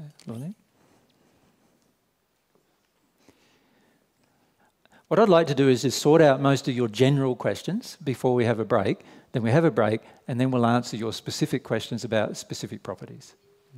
Um, if you were a learning centre and you required to buy, say, some equipment and you donated half the money to buy it, and the Learning Centre the other. Mm-hmm. Or, I mean, the God's Way of Love.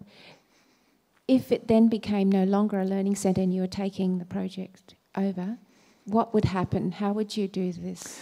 One of the management issues of the Learning Centre is we would like the owners to maintain a register of who has donated property, uh, who has donated equipment to the property. And if that equi- equipment is movable, we would like them to actually make an agreement that they give back to the person who donated it the equipment if they decide it's no longer a learning centre. Or they donate it to another learning centre. Does that make sense? See, most people are donating to the learning centre because it's a learning centre, not for any other purpose.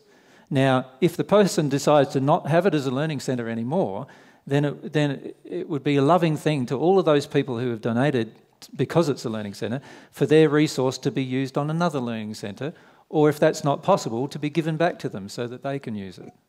Uh, what I meant was that if the owner of the learning center mm-hmm. donates maybe half of it because he well, didn't have then he's entitled to half. Oh. Mm. Does that make sense?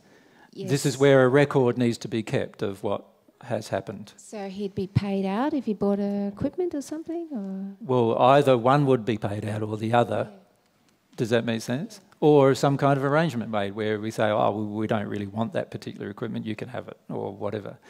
But an arrangement would have to be made, certainly. Yep. And that's a part of the agreement that the owners are making about the centre, is they're making an agreement to keep a register of all of the donations that are, that are given to them of equipment and so forth, so that when, when the, the whole thing's added up at the end of the day, that, uh, and if they decide to disband the agreement, or God's Way of Love decides to disband the agreement, that the owners have some way of giving back to the people who have donated to them. Now, there's going to be immense benefits to those owners either way, because there's a lot of work that will be done on their property by volunteer effort. So there's, there's an immense benefit to the owners. It's just an issue of trust. You see, the owner can only maintain a learning centre agreement while they allow God's Way of Love to manage, when I say manage, to determine what happens on the property. So we're not going to manage the property, we're going to determine what happens, what's allowed to happen on the property. Does that make sense? Which is very different. They still have day to day management of the property and do all the things they need to do on the property, pay the bills, so forth. But the God's Way of Love organisation will determine what happens on the property, not the owner. And if the owner disagrees with that, we automatically have, a, have an abandonment of the agreement, which means we can no longer use that particular location as a learning centre. Yep. Rach? Um, just going back to the uh, issue regarding land being made available for, let's say, call it nature reserves or Mhm. something like that. Mhm. Um, if, let's say, a large landowner wanted to forego a piece of land that he didn't want, um, he's not able, he can donate that to the organisation? He doesn't need to. He can still maintain ownership of the land. Right. He can enter a learning centre agreement with us for the land. And what we would do is we would then determine what happens on that land. If we determine that nothing should happen on the land, or that we should put some more plants into the land and so forth and get some rejuvenation projects happening, and we do all of that, as long as he is committed to benefit to the world where people can come and look at that land, maybe spend a bit of time in it and so forth, then we see no reason why, even though there's nothing on it, like in terms of buildings or Mhm. property, uh, other than the land itself, uh, we see no reason why we couldn't have that as a learning centre. But he would still be liable to the financial costs of Yes. owning the land? Yes. So there isn't an, ish, an opportunity within the organisation to accept responsibility for very large tracts of land to... We, we don't have the funds to do that. Uh, also, we don't want to manage land. He, the alternative, of course, is the alternative I outlined right at the beginning, which was that he donates the land to us, but pay, gives us enough money to pay the stamp duty so that we can accept the donation. Because at the moment, we have no way of accepting the donation uh, because of the amount of stamp duty Right. that we But then we'd still have the ongoing annual maintenance, uh, management and um, financial Yes, under costs. those circumstances, we would consider the acceptance of the property, but we would have to consider, as a part of the God's Way of Love organisation, whether we have enough funds coming in to pay for its continuous Right. charges. So it would have land tax available on it. It would have it would have rates and taxes on it, and we would need to consider: do we want to buy it off that particular those particular charges? Mm. Now, now there might be compelling reasons to do that. You know, it could be a large tract of land, a few thousand acres, that is almost pristine bush that we feel that we could protect continuously, and we may decide that that's the best way to handle that particular issue. But that that'll be issue by issue basis. Okay, Yep. Thank you. Yep. Any other questions? AJ, all that you're saying at the moment is according to how life is at the moment.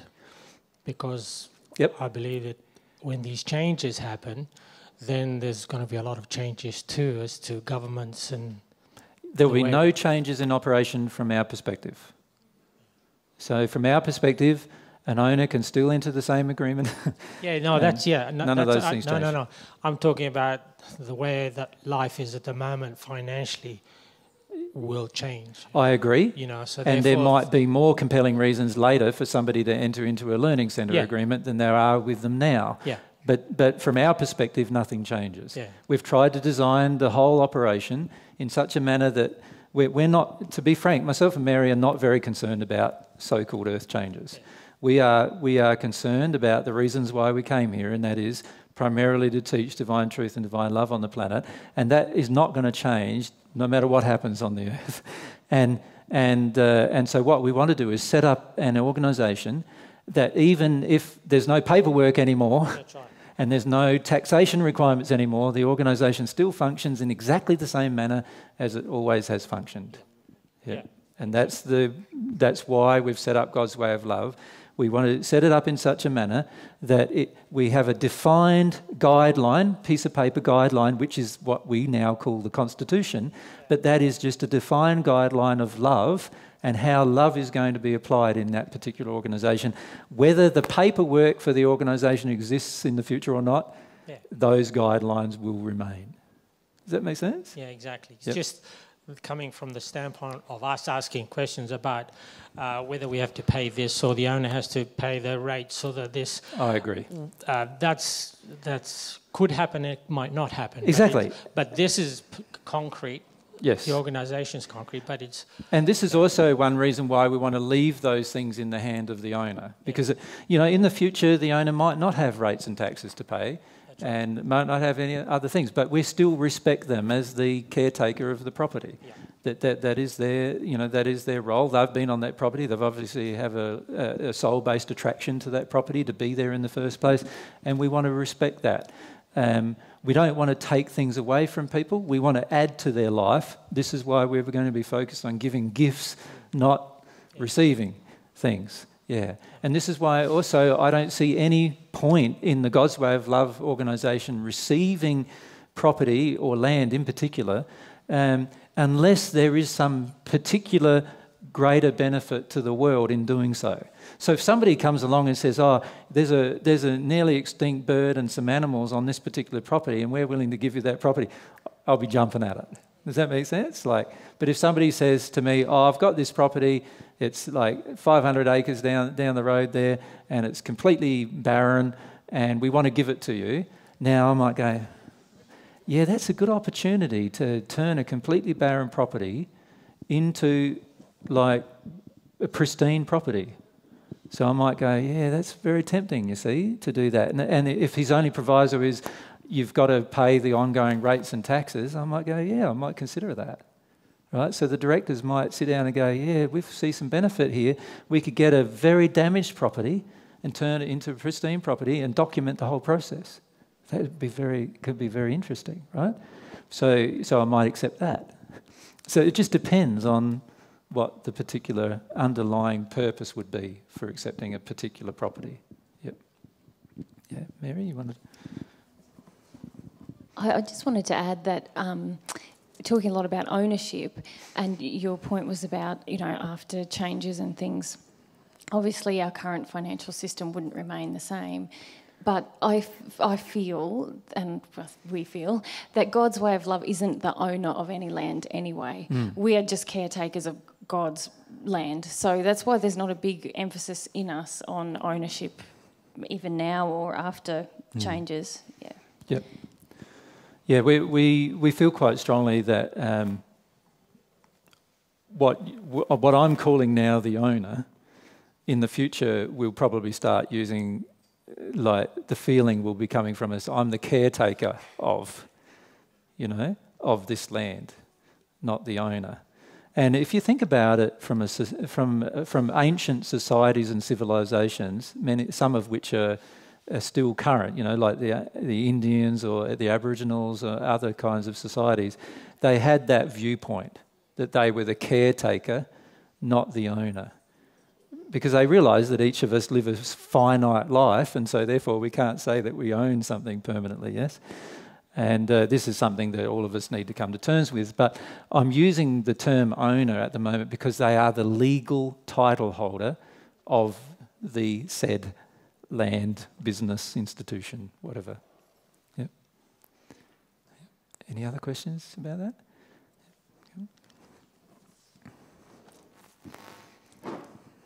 Um, the, the word projects under learning centres, Mhm. you've said that there's, um, just as validly, it can apply to that. W- would you feel to fill that out a little? Sure. Um, the Learning Centre itself is a project. It's not, we don't see the Learning Centre as a land or a property, we see it as a project.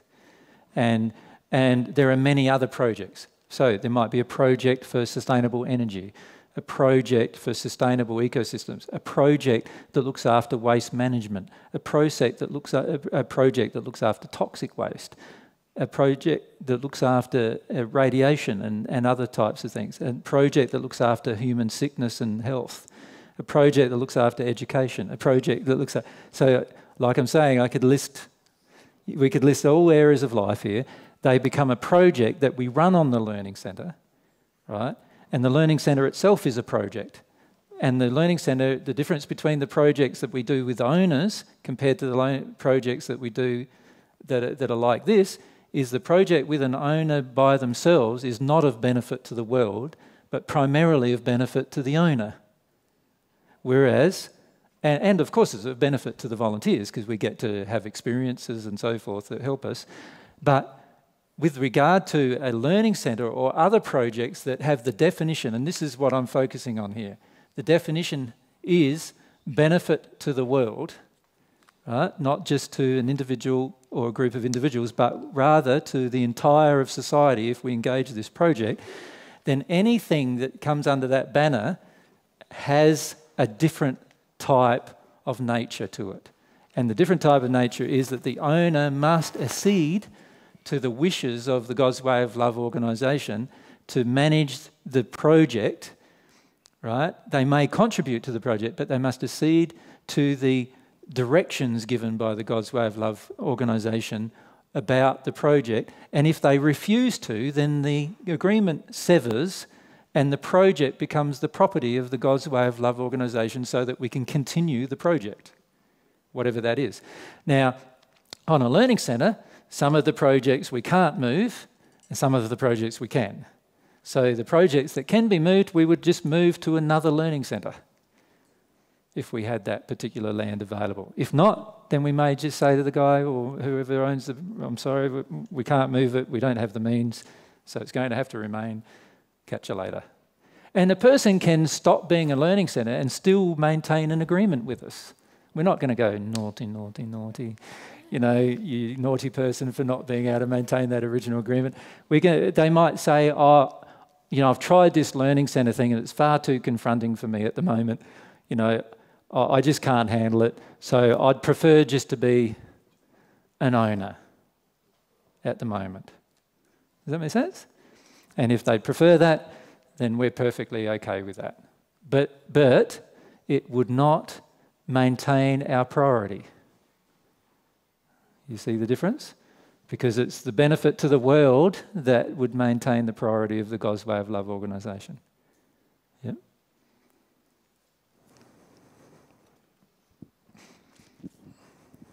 Could it happen that someone in, say, a smaller property yep. Um, were to develop a project that might be a service oriented project, not a um, material project. Certainly. Which they then would feel they wanted to benefit the world, be it innovatory yes. with regard to inventions, hardcore, or yep. personal um, relationships or healing, that yep. sort of thing. Certainly.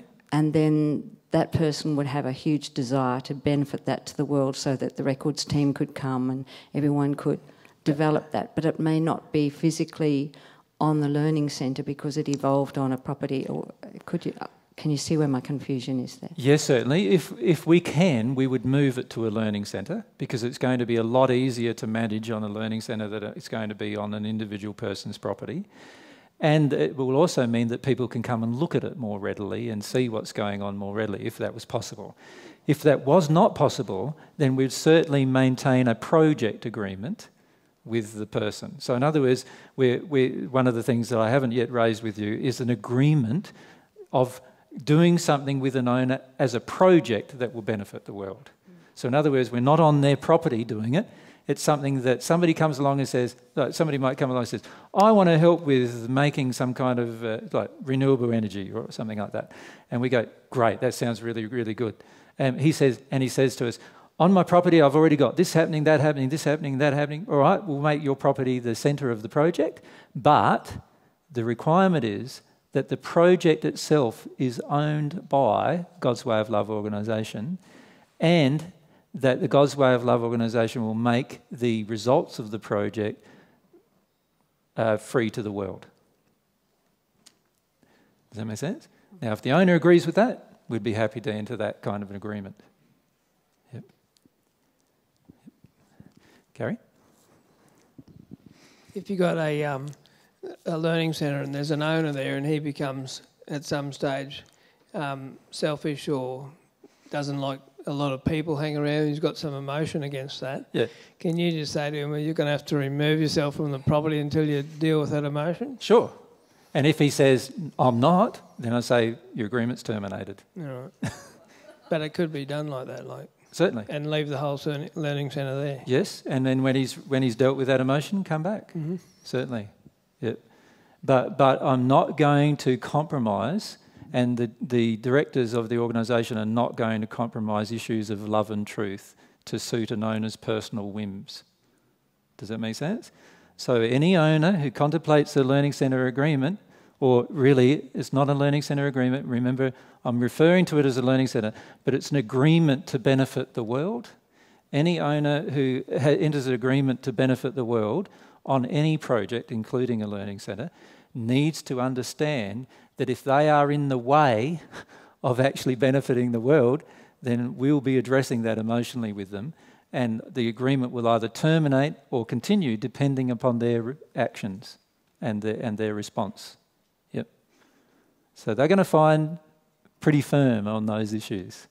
So this is where it's going to be quite confronting for any owner who enters that kind of an agreement. Yeah.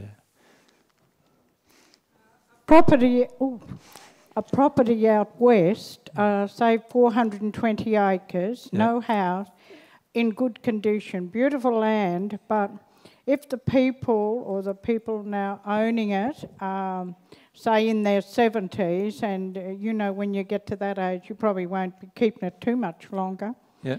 Um, is there any hope of, of using it as a learning centre or anything to benefit the world in something like that? Certainly, we've, we're interested in any property in any location, even if it's in the middle of a desert, right? Um, and the, the owners may consider, if they're aged owners, they may consider something like entering an ownership agreement with us, but also putting in the will that if they pass, that they'll pass, you know, they'll bequeath the property to the God's Way of Love organisation or something like that. We'd be happy to accept that arrangement.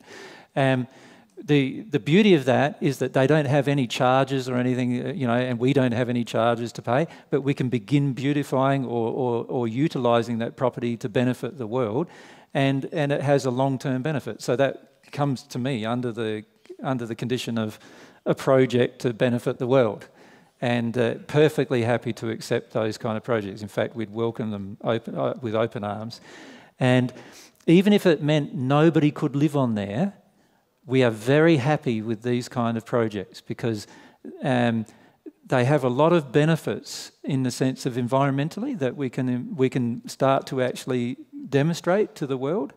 Um, so yeah, very enthusiastic about those kind of properties.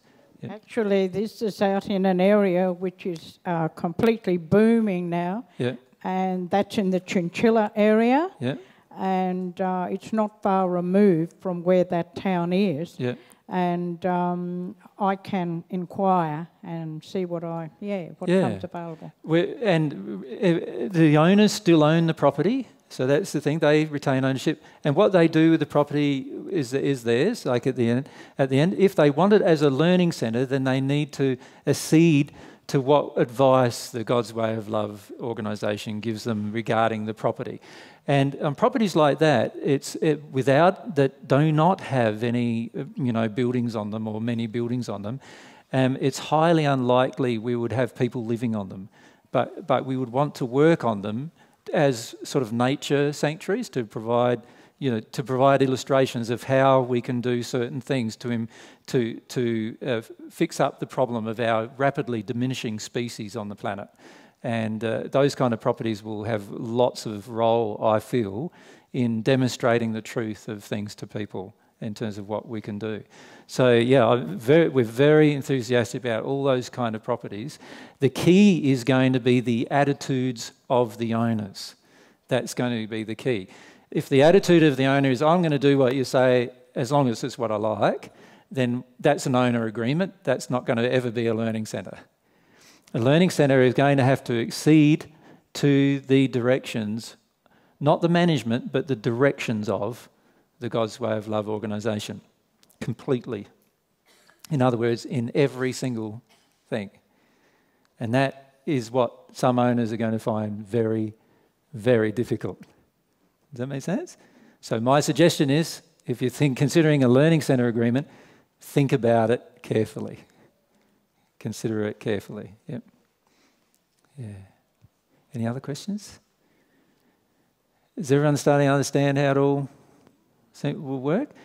Now, uh, um, yeah, if we have Mikey, my, my feeling and Mary's feeling is that any person who desires to have a project of benefit to the world, you are going to find people coming out of the woodwork to help you. Frankly, like that's what will happen. The, whenever you have within yourself a pure desire to do something that's in harmony with love, you just attract all the right people, and they all they all just come to help. If if any of your desires become impure in the process, you'll find that'll start pushing people away. Right? And that's the, that's the beauty of doing a learning centre. If myself and Mary had a property large enough, we'd already be doing a learning centre um, because, because we feel that it is a beautiful way to actually share with a large group of people and also have do projects on the property that benefit the world. And and to learn a lot in the process, but also to um, to to deal with the emotional reasons of uh, you know that we want to retain ownership. Right? So yeah, this uh, this whole idea of a learning centre we're still very enthusiastic about, but it's it's changed in in that God's way of love does not own the property, and we need to understand whatever we do on that property there is a risk that it might be lost. And that was what's going to challenge us emotionally. Uh, why would I go along to something that might be lost? Well, because you love it. is a good reason to me, right? Yeah. Is there any other? Yep. If we mic down here, where is the mic at the moment? Just keep your hand up so that, so the guys know. What was your name again? Hi, AJ. What was your name? Amael. Amael. Um, well, I understand if someone wants to start a learning center mm-hmm. and he has no special project, he has just a big land mm-hmm. and an, a loving intention, yeah. How will God's way of love organization decide which projects will happen. Obviously, environmental projects, well, it's quite clear. Um, but what other project and who and how it will be decided? What's that all happen sort of very. Um, it depends on the law of attraction of what we attract is probably the best way to say that. So, so for a start, the learning centre itself is a project in itself. So we see the learning centres not as attractive land, but actually as a project on their own right. And, and what we would do then is that that project, the Learning Centre, may have other projects happening on it. So, you know, there might be projects for energy, there might be projects for maths, science, there might be projects for health, medical, investigation, and all, the, all the other th- kinds of projects. And the, basically, the way that God's way of love will work is that we want to do every project possible. However, there'll be some kind of limited resources. So, what we're going to be doing is on the website, we'll be posting up what we need to get a certain project done. So, you know, if we, we might decide to do a seed bank project, and what we need is these particular things. And we'll just put that on the website and just allow the law of attraction to work as to who notices that and who wants to be a part of it and what resources come along as a result. Does that make sense? So it, it is based on the desire of, of the people um, that want to volunteer in project. Yes, yeah, very much so. In fact, a lot of our projects up to this point have only begun through the desire of one person, and then all of a sudden, that one person's desire, we've just engaged that one person's desire, and then it's been two people, and then it's been three people, and then before you know it, it's a group of people. Yep. And that's how we want every project to come about because we want the people on the projects to have the desire, you know, the passionate desire to do it. Yeah. Thank you. That's the idea. Yep. Is that all for us? We're hungry now? Yeah.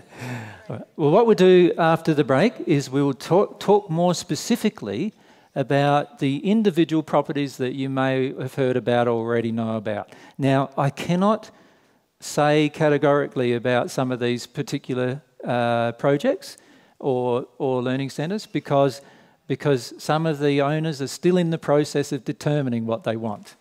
But, but, and I don't want to um, force them or force their decision to be a certain way. However, what I would like to do is just overview with you what's been happening on, in specific areas and what we envisage might happen in specific areas, and that'll give you an idea at least of what, what will, will happen in the future. Does that make sense to everyone?